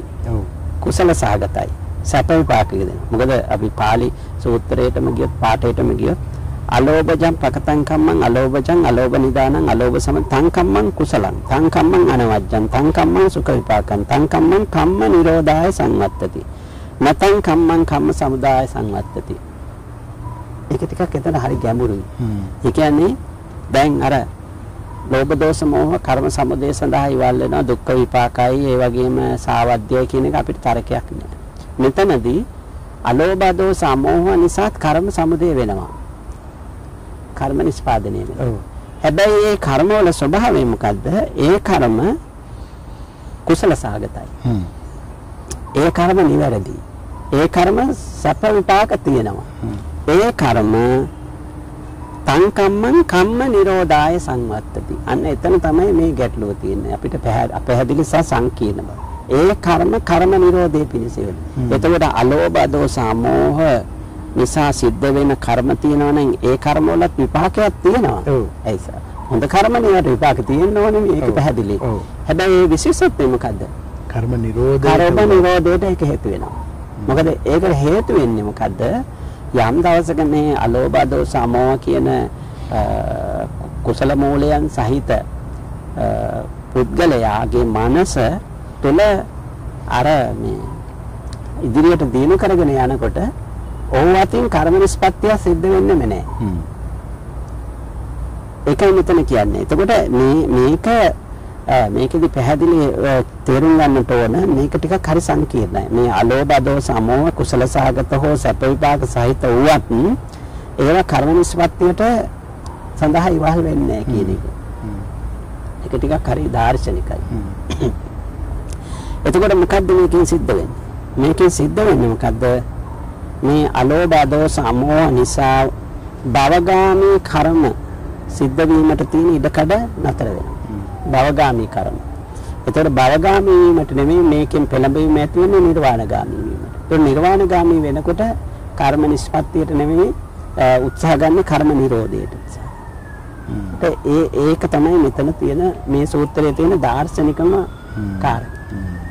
එතකොට අලෝභය අද්වේෂය අමෝහය ඒ ඒ ඒ මූලයන්ගෙන් එන ඒ ක්‍රියා හොඳ කර්ම වෙනවා හැබැයි සැප කර්- විපාකත් ලැබෙනවා හැබැයි කර්ම දිගින් දිගට කරන ක්‍රියාවලියට නෙවෙයි ඒක උදව් වෙන්නේ කර්ම නැති නැති කිරීම නැති. කිරීම නැති. කිරීම සඳහා නිරෝධය. නිරෝධය. එතකොට මේක අපි පැහැදිලිව තේරුම් ගන්නට ඕන එක. දැන් අපි අපේ තා හතරවෙනි සූත්‍රයට ගියොත් එහෙම අපේ අපි දැන් ගොඩක් සාකච්ඡා කරා මම හිතන ගොඩක් තේරුම් ගන්නවා අපිට තව ඒකට අදාළ සූත්‍ර දෙකක් තියෙනවා. ඒකේ හතරවෙනි සූත්‍රයට ගියොත්. අංගුත්තර නිකායේ දසක නිපාතයේ තියෙන මහලි සූත්‍රය කියලා. එතකොට මේ මහල සූත්‍රය බුදුන් වහන්සේ මේ මූල හේතු තුනට අමතරව තවත් කාරණා දෙකක් එකතු කරනවා. එකක් තමයි පාප සඳහා අකුසල සඳහා ලෝභ දෝෂ මෝහ මෝහ කියන අකුසල මානව භාවයන් මුල් වෙනවට අමතරව අයෝනිසෝ මනසිකාරයත් මුල් වෙනවා. නුවණින් තොරව මෙනෙහි කිරීම කියන එක. ඒ කියන්නේ අපේ කල්පනය, අපේ කල්පනාව, අපේ චින්තනය. මිච්ඡාපනිහිත චිත්ත කියලා කියනවා වැරදියට තබෝ වැටහීම වැරදි වැරදි වැටහීම වැරදි විශ්වාසය වැරදි දෘෂ්ටිය එතකොට මේ අර අර දෙකට අමතරව මේ තව අතිරේක මානසික සාධක දෙකකුත් ඉදිරිපත් කරලා තියෙනවා මේ සූත්‍රයේ. ඒ කියන්නේ අර ලෝභ දෝෂ මෝහ කියන මේ මානසික සාධක තුනට අමතරව තව දෙකක් එකතු කරලා තියෙනවා. එකතු කරලා තියෙන්නේ මොකද්ද?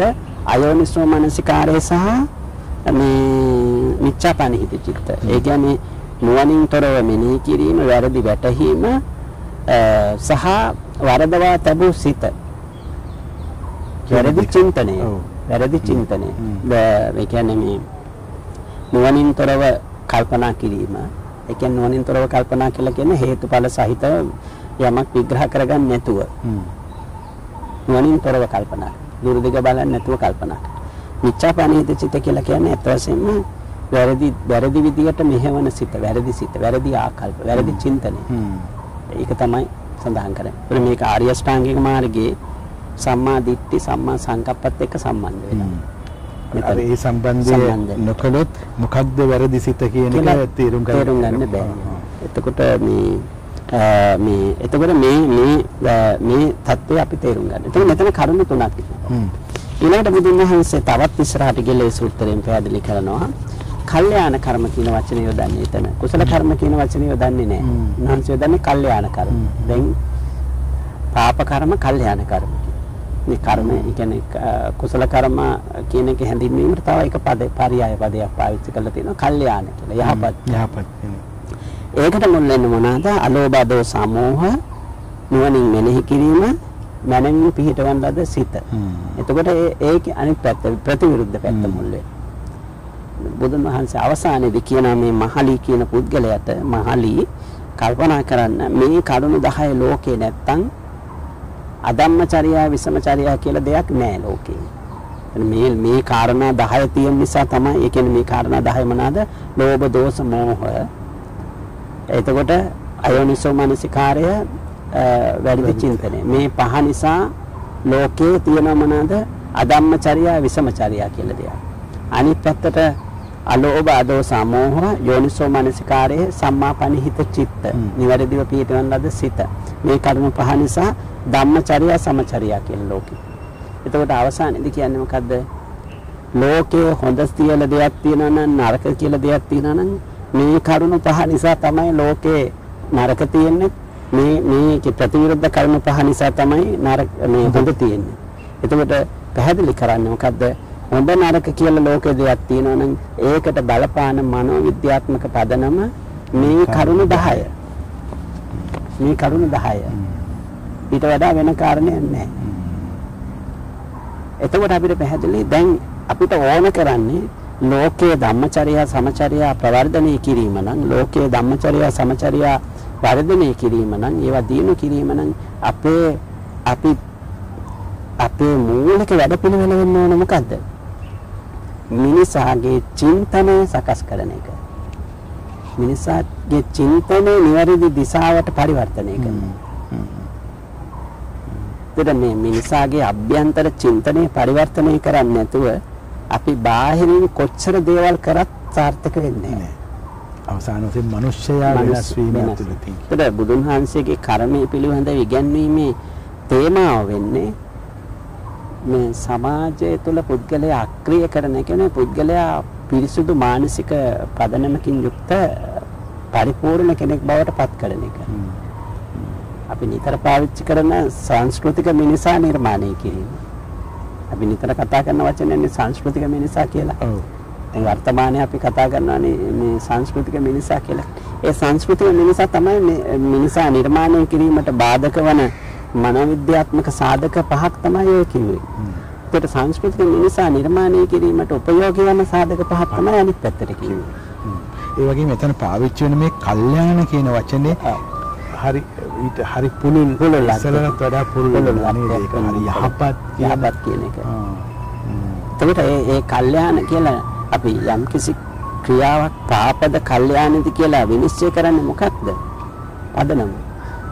මනෝවිද්‍යාත්මක පදනම. මනෝවිද්‍යාත්මක. ඉතින් ලෝභ දෝෂ මෝහ මුල් වෙලා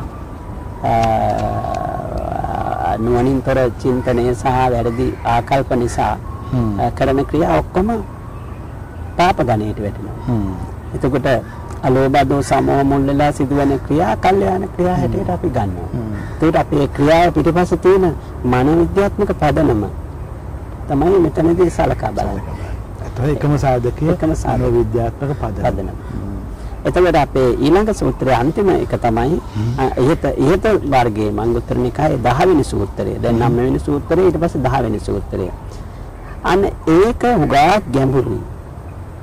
ඒක හුඟක් ගැඹුරුයි. ඒක තමයි අර මදුපිණ්ඩික සූත්‍රයේ කතා කරන ප්‍රපංචකරණය දක්වා විස්තර කරලා තියෙන වෙනත් තැනක. හරි. දැන් මෙතන කියන්නේ මේ චන්ද රාගය තමයි කර්ම නිස්පත්තියට හේතු වෙන්නේ. චන්ද රාගය. හ්ම්. කැමැත්ත සහ ඇල්ම. මොකද්ද? අතීතයේ පැවති යම් යම් ද අරබයා හා කැමැත්ත අරබයා පවතින රාගය හා කැමැත්ත. චන්ද රාග. මූලික කරගත් කැමැත්ත. අතීතය මූලික කරගෙන අතීතයේ තියෙන දේ අතීත දේවල් මූලික කරගෙන ඒ අනුව ගොඩනගාගත්ත චන්දරාගයක් තියෙනවා. ඒක. අනාගතයේ පවතින දේවල් සම්බන්ධයෙන් චන්දරාගයක් තියෙනවා.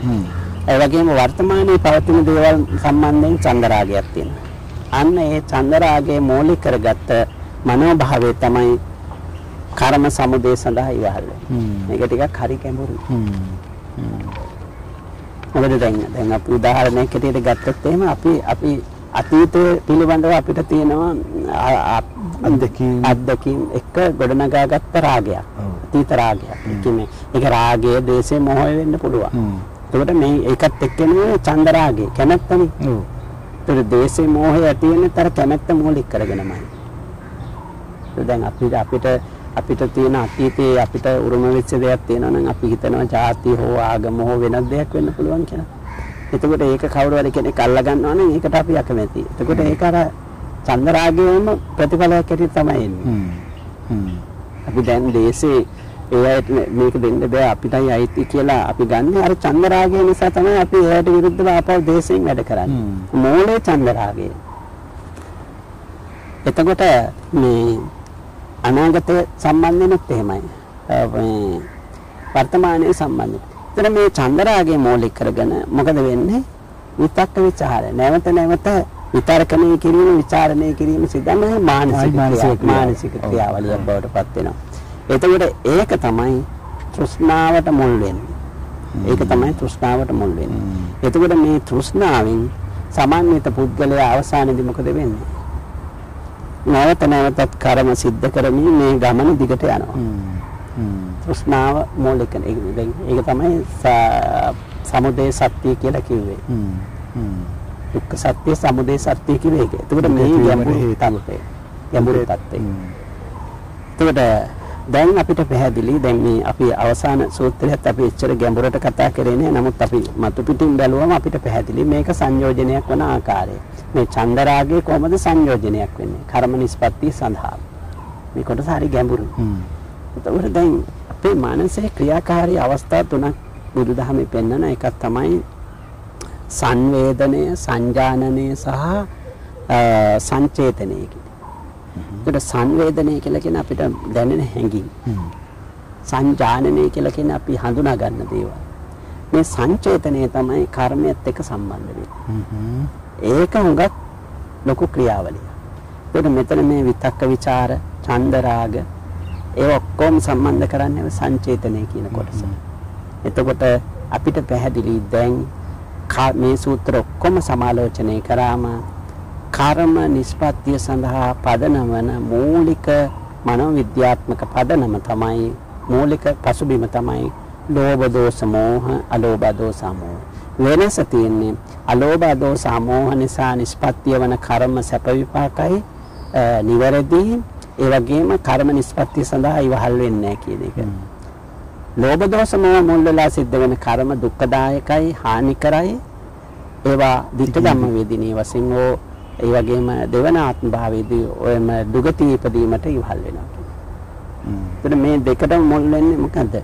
ලෝභ දෝෂ මෝහ, අලෝභ දෝෂ මෝහ. එතකොට දැන් පැහැදිලි මනෝවිද්‍යාත්මක පදනම මොකද්ද කියන එක. මේකේ බරපතලවම පුද්ගලයාගේ අභ්‍යන්තර ඒ කියන්නේ ආ හිතන විදිය ඒ ඒ- ඒ ක්‍රියාවලියයි මේකේ ගැඹුරේ තියෙන්නේ. එතකොට දැන් අපිට පුළුවන් දැන් ඊළඟට අහන ප්‍රශ්නේ තමයි එහෙනම් කර්ම නිරෝධය සඳහා මොකද කරන්නේ? ඒක- 아무තෙන් පැහැදිලි කරන්න දෙයක් නැහැ. මේක දැක්කට පස්සේ මේක දැක්කට පස්සේ එයා අනිත් පැත්තට හැරෙනකොට හැරෙන්න විතරයි තියෙන්නේ. ඒ කියන්නේ තමන්ගේ ලෝභ දෝෂ මොහ අයින් කරලා අලෝභ දෝෂ අමෝහ පැත්තට හැරෙන්න තියෙන්නේ. යෝනිසෝ මනසිකාරය දිනු කරන්න තියෙන්නේ. නිවැරදි චින්තනය ගොඩ නගා ගන්න තියෙන්නේ. එතකොට වඩා වැදගත් වෙන්නේ මෙතන මෙන්න මෙතනදී අපිට භාවනාව අවශ්‍ය කරනවා. මොකද අපේ මේ සිත ක්‍රියාත්මක වෙන්නේ අපිට දකින්න අවශ්‍ය කරන පුහුණුව ලැබෙන්නේ භාවනාවෙන්. අපේ සිතුවිලි අරමුණු එකින් එක වෙන් කරලා හඳුනා ගන්න. මේවා කුසල සාගත අකුසල සාගතද කියලා අපිට තීරණය කරගන්න අවශ්‍ය කරන පුහුණුව ලැබෙන්නේ භාවනාවෙන්. ඉතින් මෙහා පැත්තේ අපිට අපිට සාමාන්‍ය ධර්ම අවබෝධය අවශ්‍යයි. මේ හොඳ නරක වෙන් කරගන්න. හොඳ නරක වෙන් කරගන්න. ඒක තවත් මෙහාට ගිහිල්ලා අපි තවත් සරල තැනකට ආවොත් තවත් ප්‍රාථමික තැනකට ආවොත් අපි සමාජීය වශයෙන් අපි තේරුම් ගන්නට ඕන මේ දේවල් නරකයි මේ දේවල් හොඳ නෑ කියන මේ දල අවබෝධය. නිකන් අර අර සරල අවබෝධය අපිට තියෙනවා. එතකොට ඒක ඒක තමයි කර්ම නිෂ්පත්තිය වළක්වන්න තියෙන හොඳම දේ. හමුදුනේ තවදුරටත් විස්තර කරනවද මේ කර්ම කියන්නේ කර්ම නිරෝධය කිරීම සම්බන්ධව කර්ම නිරෝධය කියන එක මම හිතන්නේ අමුතුවෙන් විස්තර කිරීම අවශ්‍ය නැහැ. මේ සාකච්ඡාව කර්ම නිරෝධයමත් මේ සාකච්ඡාවේ අපි කරපු ටිකෙන්ම අපිට තේරුම් ගන්න පුළුවන්. ඔව් පැහැදිලි. දැන් ලෝභ දෝෂ මෝහණන් මුල් වෙන්නේ. ඔව්.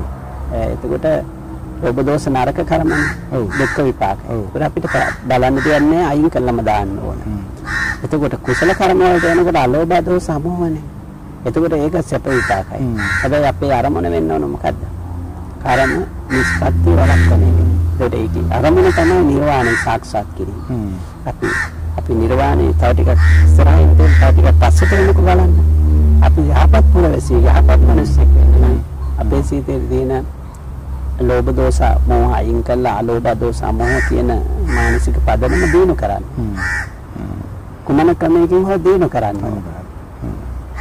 දිනු කරන්න ඕන. එතකොට තමයි අර අඩම තරමේ සසර දුක දුක් දුක් මේ කියන්නේ දුගතියක උපදින එක හරි වළක්ව ගන්න පුළුවන්. දැන් හාමුදුරුවනේ මිනිස්සු ජීවත් වෙනකොට අපි හිතමු මේක අහන කෙනෙක් ජීවිතයේදී ඔය කියන ලෝභය, ද්වේෂය, මෝහය පදනම් කරගත්ත බොහෝ බරපතල දේවල් අතීතයක් තියෙන කෙනෙක් කියලා. එතකොට එයාට මෙතනින් එහා ජීවිතේ එයාට එයාට හැකියාවක් තියනවද ඒවා වෙනස් කරගන්න. ඒ හැකියාව තියනවද මූලික බෞද්ධ ඉගැන්වීම අනුව? දැන් අ, බුදුදහමේ ම්, අ, කතා කරන්නේ දැන් ක- කර්මය ගත්තම කර්මය ගැන ප්‍රකට අ, මේ ඉගැන්වීම තමයි අ, කම්ම පටිසරණෝ කම්ම බන්දු කම්ම කම්ම යෝනි කම්ම බන්දු කම්ම පටිසරණෝ යං කම්මං කරිස්සති කල්යාණං වා පාපකං වා තස්ස දායාදෝ බවිසාමි. එතන මේ නිර්වචනය අනුව කර්මයේ ස්වාමියා පුද්ගලයාමයි. ඒ කර්මය කරන පුද්ගලයා. එතකොට මම මගේ කර්මයේ ස්වාමියා අධිපතියා නෑයා. මගේ අ, මම ඒක ජන්ම කොට පවතිනවා. කියන්නේ මම හොඳ නරක කර්මයක් කරොත් ඒකේ ඒකෙත් අයිතිකාරයා මම නරක කර්මයක් කරොත් ඒකෙත් අයිතිකාරයා මම. මොකද අපි කලින් සඳහන් කරා මේ මනෝවිද්‍යාත්මක පදනම් වෙන එක්කෙනෙක්ගේ එකක් නෙවෙයිනේ. දැන් මම මගේ ලෝභ දෝෂ මොහ නිසානේ මම අකුසල කර්ම වල නිරත වෙන්නේ. මගේ අලෝභ දෝෂ මොහ නිසා තමයි කුසල කර්ම වල නිරත වෙන්නේ. එතකොට මේ මනෝවිද්‍යාත්මක පදනමේ හිමිකරුව කවුද? මම. ධම්මානන්ද හඳුරන්ගේ කුසල අකුසල කර්ම වල මනෝවිද්‍යාත්මක පදනමේ හිමිකරුව ධම්මානන්ද හඳුර. මගේ වගේ මම. තවත් කෙනෙක් ගත්තොත් තව එයා. එතකොට ඒ පදනම අපි එක එක්කෙනාගේ ඒවා. එතකොට එහෙමනම් අපිට පැහැදිලි මේකේ අයිතිකාරය අපිමයි. එතකොට මෙතන තියෙන ප්‍රශ්නේ තමයි මේකෙන් අපිට ගැලවීමක් නැද්ද? මේ මේ මේ මම අයිතිකාරයා නම් මට මේකෙන් ඔබට යන්න බැරිද? මම මේකට යටත් වෙලා ඉන්න ඕනද? මට එන හැකියාවක් නැද්ද? කියන ප්‍රශ්නේ අපි නගන්න ඕන දෙයක්. ඇත්ත වශයෙන්ම බුදුන් වහන්සේගේ ඉගැන්වීම් අන්තර්ගත සූත්‍ර දේශනා පරීක්ෂා කරාම පේනවා අපිට පුළුවන් අපිට හැකියාවක් තියෙනවා මේ මේ මේ අධිපතිත්වයට මේ කර්මයේ අධිපතිත්වයට සෑහෙන පමණ බලපෑම් කරන්න. සෑහෙන පමණ අභියෝග කරන්න. මේ කර්මයේ අධිපතියා අර ප්‍රසිද්ධ මේ අධිකරණයකට ගෙනල්ලා ප්‍රශ්න කරලා මේ මෙයාගේ බලය සෑහෙන්න දුර්වල කරන්න පුළුවන් අපිට. හැබැයි අර අනන්තරීය පාප කර්ම හැර එකත් මතක තබා ගන්න ඕන. අනන්තරීය පාප කර්ම මං හිතන්නේ අපි අතින් අනන්තරීය පාප කර්ම වෙලා තියෙනවා නම් වෙලා තියෙන ලෝකේ සම්භාවිතාවයේ ගත්තොත් ඉතාම අතලොස්සක් නේ. ඔව්. ඉතාම අතලොස්සක්. එවැනි එවැනි පුද්ගලයන් ඉන්නේ ඉතාම අතලොස්සක්. ඔව්. නමුත් බහුතරය ඉන්නේ මෙහා පැත්තේ. මෙහා පැත්ත. මෙහා පැත්තේ. ඒකත් අපි තේරුම් ගන්නට ඕන. එතකොට මේ එතකොට මේ මේ අධිපතිය ප්‍රශ්න කරලා අපිට සෑහෙන පමණ ආණ්ඩු මට්ටු කරගන්න පුළුවන් මෙයාව. එතන එවැනි සූත්‍ර කීපයක් බුදුන් වහන්සේ ඉදිරිපත් කළා තියෙනවා. ඉතින් වැදගත්ම සූත්‍ර දේශනාව තමයි අංගුත්තර නිකායේ ලෝණ ඵල සූත්‍රය. අපි ඒක පසුගිය සාකච්ඡාවේදීත් මතු කරා අංගුත්තර නිකායේ එක කාණ්ඩයේ ඇතුළත් වෙන මේ ලෝණ ඵල සූත්‍රය. ඒක මේ බුද්ධ ජයන්ති පරිවර්තනය නම් 140 442 පිටුව ඉංග්‍රීසි පරිවර්ත ඉංග්‍රීසි මේ එක නම් මට මතක නැහැ හරියටම.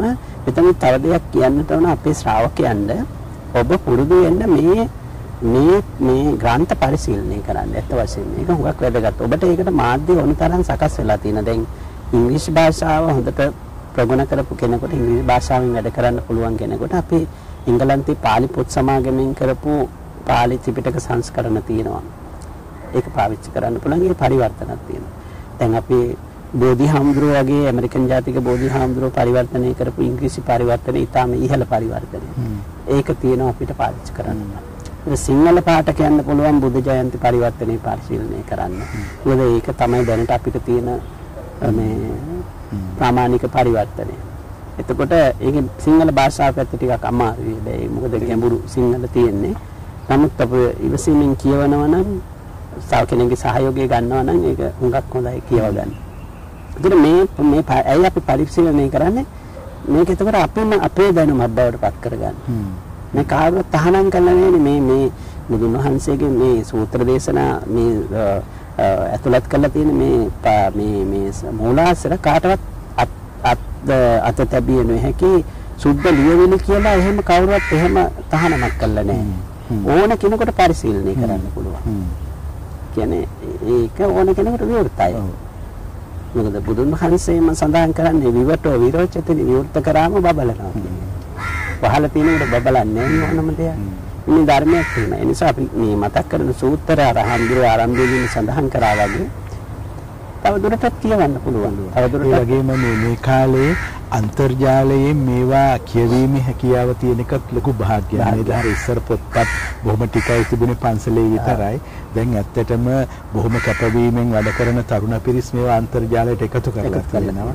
ඊළඟට ඉංග්‍රීසි භාෂාවෙන් ගත්තොත් සූත්‍ර සෙන්ට්‍රල් කියන පරිවර්තන ඉතාම හොඳයි. ඉරින්න හාමුදුරුවෝ නිර්දේශ කරන්න පුළුවන් ඔන්ලයින් තියෙන දේවල් හඳුන මේ මේ නරමන අතර සමහර දෙනා ලංකාවේ නෙවෙයි. ඒ අය එතකොට ඒ අරගෙන බලන්න පුළුවන්.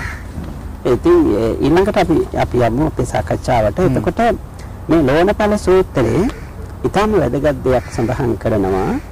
බුදුන් වහන්සේගෙන් අහපු ප්‍රශ්නයකට මේ ඒ කර්ම කරන ආකාරය අනුවම විපාක විඳීමට සිදුවේයයි කියන්නේ නම් යතා යතායන් පුරුෂෝ කම්මං කරති තථා තථානං පටිසංවේදීති ඒ කර්ම කරන ආකාරයටම අනුව විපාක විඳින්න සිද්ධ වෙයි කියලා කියනවා නම් එයාට ගැළවීමක් නැහැ. එයාට අනුගමනය කරන ආගමික ප්‍රතිපදාවෙන් නිවැරදි ප්‍රතිපදාවෙන් වැඩක් වෙන්නේ නැහැ. මොකද එයා කරලා තියෙන කර්මයට අනුරූපව විපාක විඳින්න සිද්ධ වෙන නිසා. ඒතර මේක හුඟක් පස්සේ කාලේ අපිට එකතු වෙනවා ඔය කම්මසරික්කතා සංකල්පය වගේ ඒවා පස්සේ කාලේ අපි ඒක පස්සේ සාකච්ඡා කරනකොට පැහැදිලි වෙයි. ඒතර මේ කරන කරන ආකාරය අනුවම විපාක විඳින්න සිද්ධ වෙනවා කිව්වොත් ගැළවීමක් නැහැ ගැළවීමක් නැහැ. ඔය බුදුන් වහන්සේ මෙතනදී සඳහන් කරන එහෙම ප්‍රකාශ කරන එක වැරදි. එහෙම කියන එක වැරදි. එහෙම හිතන එක වැරදි. මොකක්ද එහෙනම් හරි? ඒ අනුව බුදුන් වහන්සේ සඳහන් කරනවා වේදනීය කර්ම කියලා කොටසක්. ඒ වේදනීය කර්ම දැන් මේ කියන්නේ විපාක විඳින්න සිද්ධ වෙන්නේ වේදනීය කර්ම වලට විතරයි. එතකොට මේ ඒ නිසා මේ මේක අපි මතක් තියාගන්නට ඕන මේ සූත්‍රයේ ආරම්භයේදීම සඳහන් කරනවා වේදනීය කර්ම කියන එක.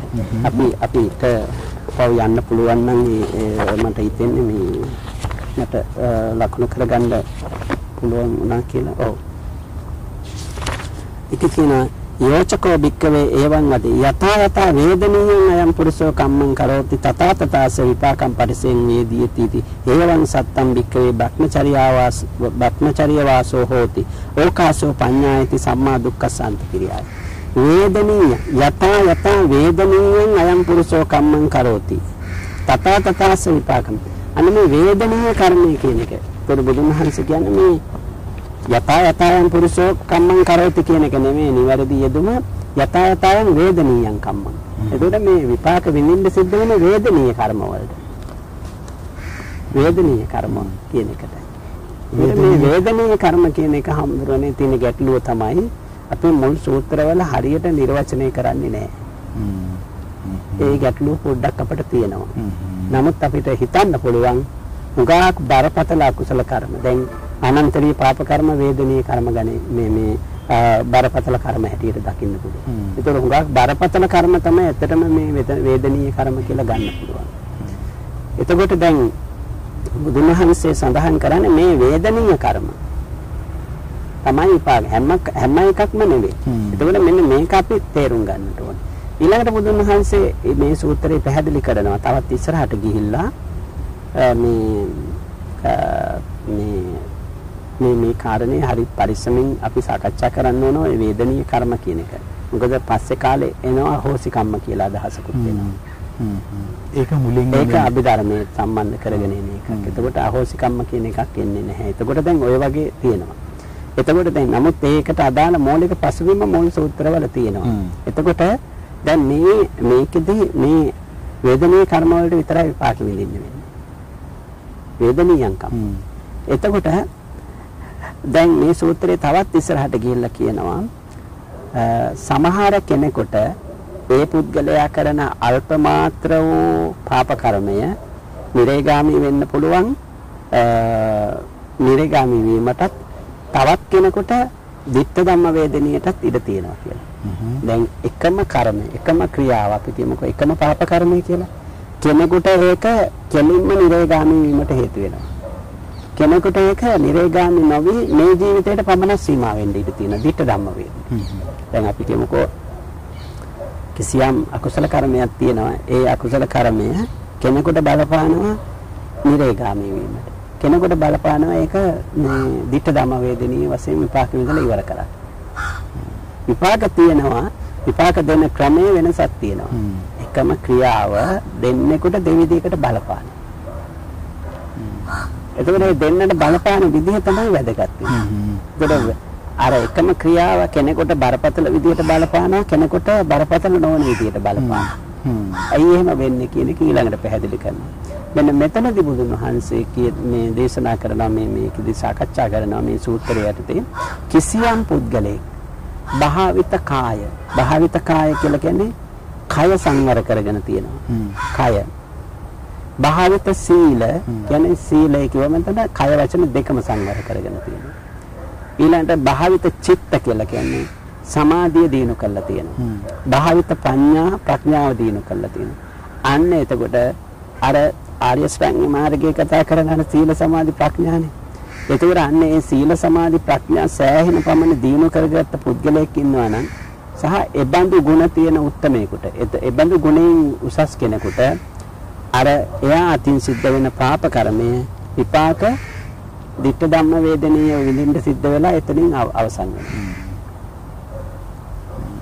එතකොට අර අභාවිත කාය අභාවිත චිත්ත අභාවිත පඤ්ඤා කියන ඒ තත්ත්වයන් තුළ ඉන්න දුර්වල පුද්ගලයෙකුට ඒ කියන්නේ ගුණයක් නැති අපි කියමුකෝ දුස්සීල පාපකාරී ඒ කියන්නේ දුර්ගුණ වලින් පිරිච්ච පුද්ගලයෙක් අතින් පාප කර්මයක් සිද්ධ වෙනවා නම් ඒ පාප කර්මය තවත් බලවත්. ඒක දුගතිගාමී වීමට හේතු වෙනවා. නිරේගාමී වීමට හේතු වෙනවා. දැන් මෙතන අපිට පැහැදිලි කරගන්නට ඕන එකම පාප කර්මය ගුණවත් කෙනාට විපාක දෙන විදිහයි දුර්ගුණ සහිත දුස්සීල පුද්ගලයාට පාපකාරී පුද්ගලයාට විපාක දෙන විදිහයි දෙවිදිහයි. පුද්ගලයා නරක කෙනෙක් නිසා ඔහු කරන කුඩා පාපය දුගතිගාමී වීමට හේතු වෙනවා. පුද්ගලයා හොඳ නිසා ඔහු අතින් සිද්ධ වෙන කුඩා පාපය විත්ත ධම්ම වේදනීය වශයෙන් විපාක විඳලා අවසන් වෙනවා. එතකොට බුදුන් වහන්සේ ඒකට ඒක පැහැදිලි කරනවා උපමාවකින්. උපමා කීපයක් තියෙනවා. ඒකෙන් ප්‍රසිද්ධ උපමාව තමයි ලෝණ පළ උපමාව කියලා කියන්නේ. කුඩා ජල භාජනයකට ලුණු කැටයක් දැම්මොත් මොකද වෙන්නේ? ඒක දිය වෙනවා. ඒක දිය වෙලා ඒකේ ලුණු රසය වැඩි. හැබැයි බුදුන් වහන්සේ ඒ කාලේ තිබුණ විදියට උපමා කරනවා ගංගානම් ගඟට. හ්ම්. ගංගානම් ගඟට ලුණු කැටයක් දැම්මොත් ඒක ඒක ලුණු රසය රසයක්. මොකද එතන තියෙන්නේ ජලයේ සංයුතිය. අර කුඩා භාජනයේ තියෙන ජලයේ සංයුතිය සීමා සහිතයි. ඒක ලුණු කැටයක් දැම්මොත් ලුණු රස එනවා. හ්ම්. ගංගානංගගේ එන ජලයේ සංයුතිය විශාලයි. ඒක ලුණු කැටයක් දැම්මොත් ඒක මේ මේ මේ ලුණු රස එන්නේ නැහැ. එතකොට මෙතන පෙන්වන්නේ මොකද්ද? අපිට පැහැදිලි දැන් සංයුතිය වෙනස් කරත් අරබුදේ විසඳනවා නේද හම්දුරනේ. ඔව්. ඔව්. ඒක හරි. ඒ කියන්නේ බොහෝ අකුසල් දුර්ගුණ සහිත කෙනා අතින් සිදුවන දෙහි ඒක අර කුඩා භාජනයේ ලුණු කැටේ වටන හා සමානයි. ඒක ඒකේ ඝනත්වය වැඩි. එතකොට ඊට වඩා යහපත් විදිහට කටයුතු කරන කෙනෙකුගෙන් වෙන වරද කියන එක ඒක අර ගඟට වැටුණු ලුණු කැටයක් වගේ. ඒතකොට සංයුතිය වෙනස. දැන් මෙතන තියෙන්නේ මොකද්ද? මේකෙන් අපිට කියන්නේ අපිට අපි අතින් වැරදි සිද්ධ වෙන්න පුළුවන්. සිද්ධ වෙලා තියෙන්නත් පුළුවන්. හැබැයි ඒ වැරදි සිද්ධ වෙලා තියෙනවා සිද්ධ වෙනවා ඒව මත ඉඳගෙන ජීවිතේ තීන්දුව කරන්නේ නැතුව අපිට පුළුවන් ඊට වඩා ප්‍රතිවිරුද්ධ පැත්තේ හොඳ වර්ධනය කරන්න. හොඳ වර්ධනය කරත් මොකද වෙන්නේ? ඒකට සංයුතිය වෙනස් වෙනවා. සංයුතිය වෙනස් වෙනවා. සංයුතිය වෙනස් වුණාට පස්සේ අර අපි අතින් සිද්ධ වෙලා තියෙන යම් කුසල කර්මයක් තියෙනවා නම් ඒකේ බලය මොකද වෙන්නේ? ඒක දුර්වල වෙනවා. බලය දුර්වල වෙන්න පටන් බලය දුර්වල වෙන්න පටන්. ඒකට මේකෙන් පේන්නේ මොකද්ද? අපිට පුළුවන් අපේ කර්මය බලය බලයට අභියෝග කරන්න. අපි කරපු යම් යම් අකුසල කර්මවල බලය වෙනස් කරගන්න අපිට පුළුවන්. බලය අවම කරන්න පුළුවන්. මොකද විපාක අහෝසි කරන්න බෑ අපිට. බලය අවම කරන්න පුළුවන්. ඒ වගේ ඒ කියන විපාක දීමේ මේ ශක්තිය දුර්වල කරන්න පුළුවන්. දුගතිය උපදිනවට වඩා හොඳයි මෙලොවදී ඕක විඳලා යන එක. දැන් අපි බුදුදහම විස්තර කරන පුනර්භවය පිළිබඳ අදහසට අනුව දුගතිය ඉපදුන තව අපිට පේන්නේ නැති තැනක් නේතන. මොකද අපේ තාම අත්දැකීම් වලට ගෝචර වෙලා නැහැ ඒක. නේද? නමුත් අපිට මෙහෙදී බැනුම් අහලා නින්දා අපාස විඳලා පීඩණයට ලක් වෙලා ඒක විඳින එක ඊට වැඩිය හොඳයි. ඒක අවසන් කරගෙන අවසන් කරගෙන යන්න පුළුවන් යන දැනකට. ඒතකොට ඒකෙන් පෙන්වන්න හදන්නේ බුදුන් වහන්සේ මේ සූත්‍රයෙන් පැහැදිලි කරන්නේ මේ මේක මේක අපිට වෙනස් කරන්න පුළුවන් කියන එක. මම හිතන්නේ මේ ලෝණපල සූත්‍රය ධනාත්මකව කවුරු හරි තේරුම් ගන්නවා නම් අපි අතින් සිද්ධ වෙලා තියෙන වැරදි වලට පසුතැවෙන්නේ නැතුව ඒ වගේ මත ඉඳගෙන ජීවිතේ කර්මයට බාර දෙන්නේ නැතුව මෙතනින් එහාට ඊටාම හොඳ ගමනක් යන්න පුළුවන්. ඕනෑම වැරදි කරගෙන දැන් අපි කියමුකෝ විවිධ වැරදි කරලා හිරේ විලංගුවේ වැටලා ඉන්න අය ඉන්නවා කියමුකෝ බන්ධනාගාරගත වෙලා ඉන්නවා කියමු. නමුත් ගෙවල් වලට වෙලා පශ්චාත්තාප වෙමින් දුකින් වේදනාවෙන් ඉන්න අය වෙනවා. ඒකට නැවත ජීවිතේ හදාගන්න හොඳ උදාහරණ සූත්‍රයක් තමයි මේ සූත්‍රය. එයාට පුළුවන් පුංචි භාජනයක් නොවි ගඟක් එයාට Tamanට අවස්ථාව තියෙනවා. තියෙනවා. අර කර්මයේ බලය වෙනස් කරන්න. වෙනස් කරන්න. අඩු කරන්න. එතකොට අපි ගංගාවක් බවට පත් වෙනකොට ඊට පස්සේ අපේ බලය වැඩි වෙනවා. එතන ඉඳලා අපේ යහපත පැත්ත වර්ධනය වෙන්න පටන් ගන්නවා. තවත් සූත්‍රයක් තියෙනවා. අංගුත්තර නිකායෙම මේ පළෝපජීවී සූත්‍රය කියලා. මේ පළෝපජීවී සූත්‍රයේ බුදුන් වහන්සේ කර්මය පිළිබඳ නියතිවාදය ප්‍රතික්ෂේප කරමින් ඒ කර්මය පිළිබඳ වැරදි විශ්වාස සහ අවබෝධය බැහැර කරමින් බුදුන් වහන්සේ පුද්ගල කණ්ඩායම් හතර දෙනෙක් විස්තර කරනවා. මේ මේ පළෝපජීවී සූත්‍රය. එක්කෙනෙක් තමයි මේ ඒ දෙන්න හඳුන්වනවා කම්මපලූපජීවී උත්තානපලූපජීවී කියලා. කර්මෙන් කර්මයේ මත ජීවත් වෙන්න උත්සාහය මත ජීවත් වෙන්න. එතකොට මේ ලෝකයේ මිනිස්සු ඉන්නවා සියල්ල කර්මයට බාර දීලා කර්මයේ මතම ජීවිතේ තීන්දුව කරන අය ඉන්නවා. ඒ පළවෙනි කණ්ඩායම.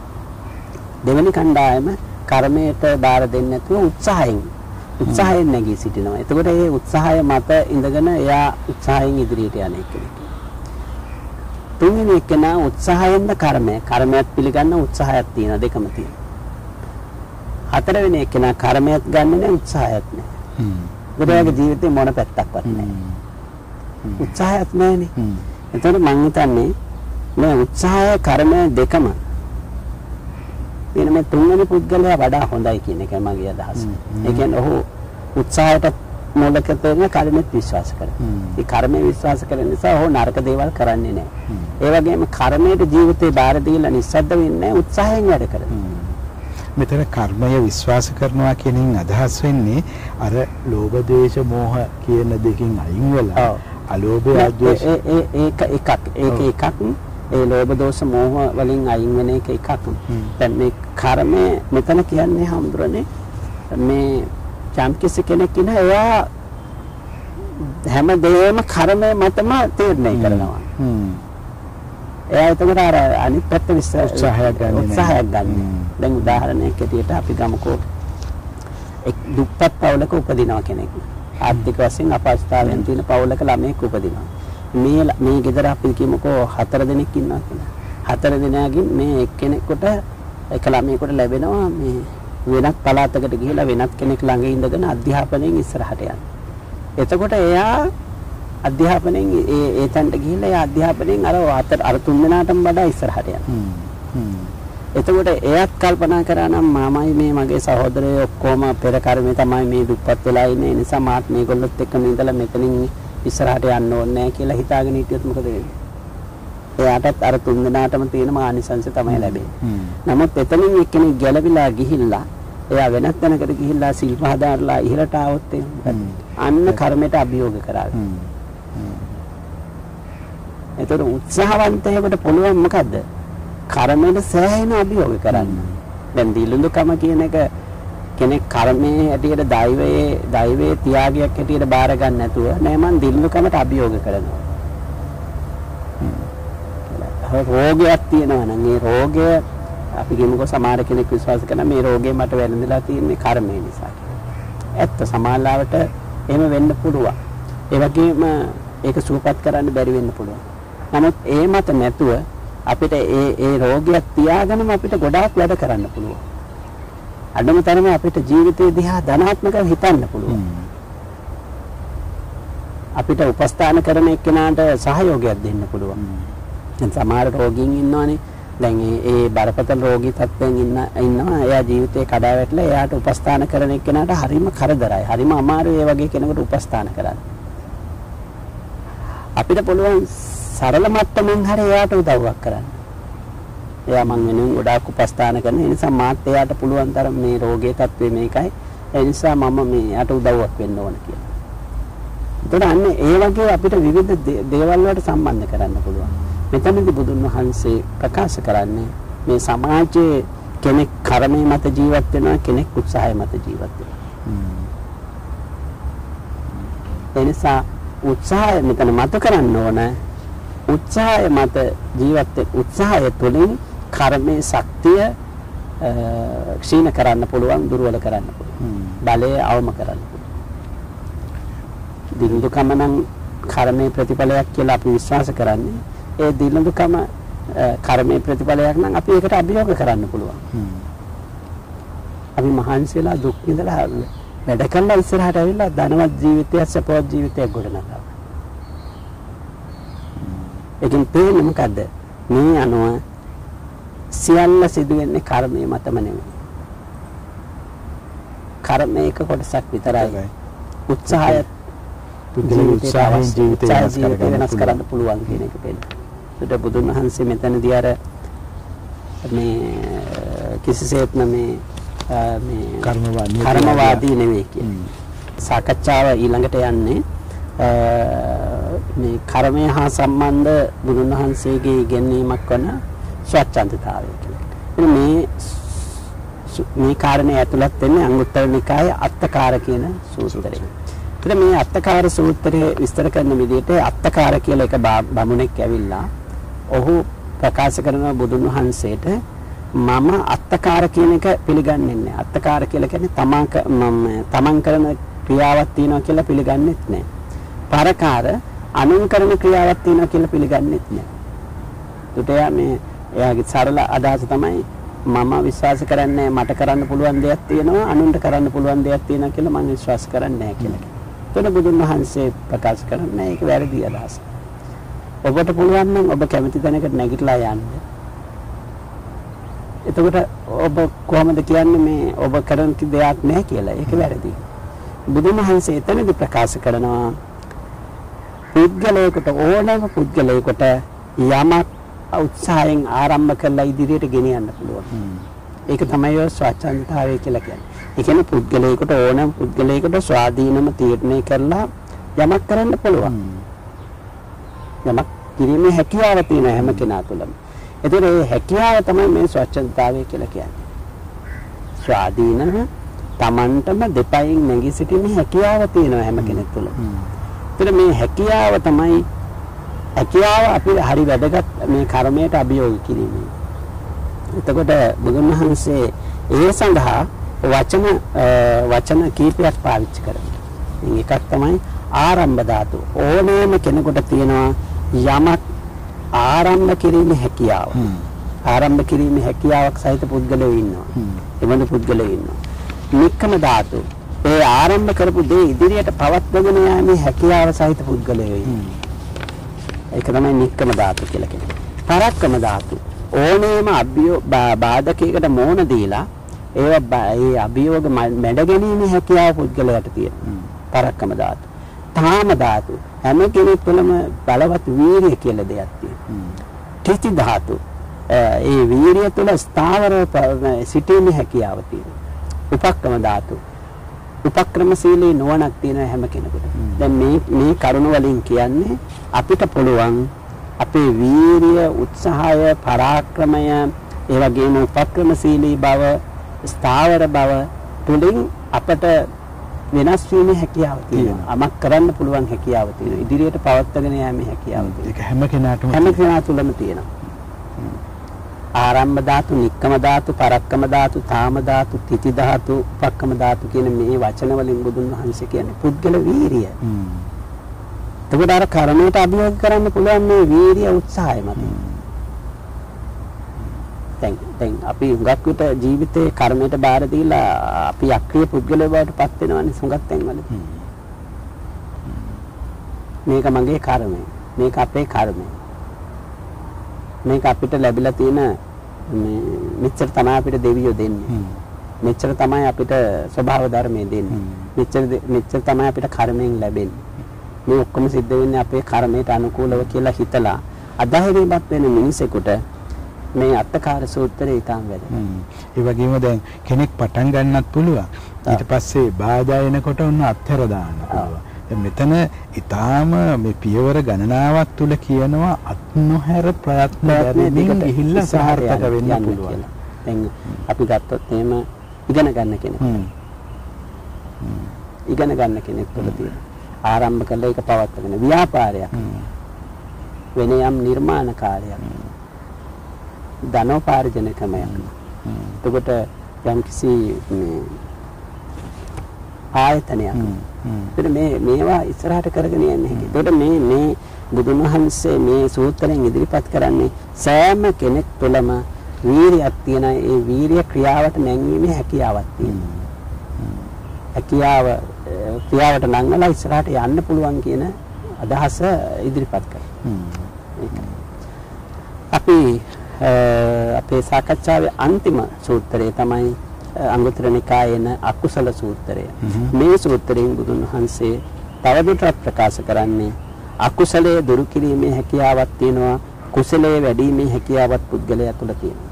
බුදුන් වහන්සේ නිතරම අවධාරණය කරපු එකක් තමයි උන්වහන්සේ ප්‍රකාශ කළේ අකුසලය දුරු කරන්න අකුසලය දුරු කරන්න පුළුවන්. වැරද්ද අත්හරින්න වැරද්ද අත්හරින්න පුළුවන්. වැරද්ද අත්හරින්න බැරි නම් මම ඔබට කියන්නේ නෑ වැරද්ද අත්හරින්න කියලා. අකුසලයේ දුරු කරන්න බැරි නම් මම ඔබට කියන්නේ නෑ අකුසලයේ දුරු කරන්න කියලා. ඒ වගේම කුසලයේ වඩන්න, නිවැරදි දේ ප්‍රගුණ කරන්න, නිවැරදි දේ ක්‍රියාත්මක කරන්න. ඒක කල නොහැකි නම් මම ඔබට කියන්නේ නෑ ඒක කරන්න පුළුවන් කියලා. එතකොට මේ මේ කියන්නේ මොකද්ද?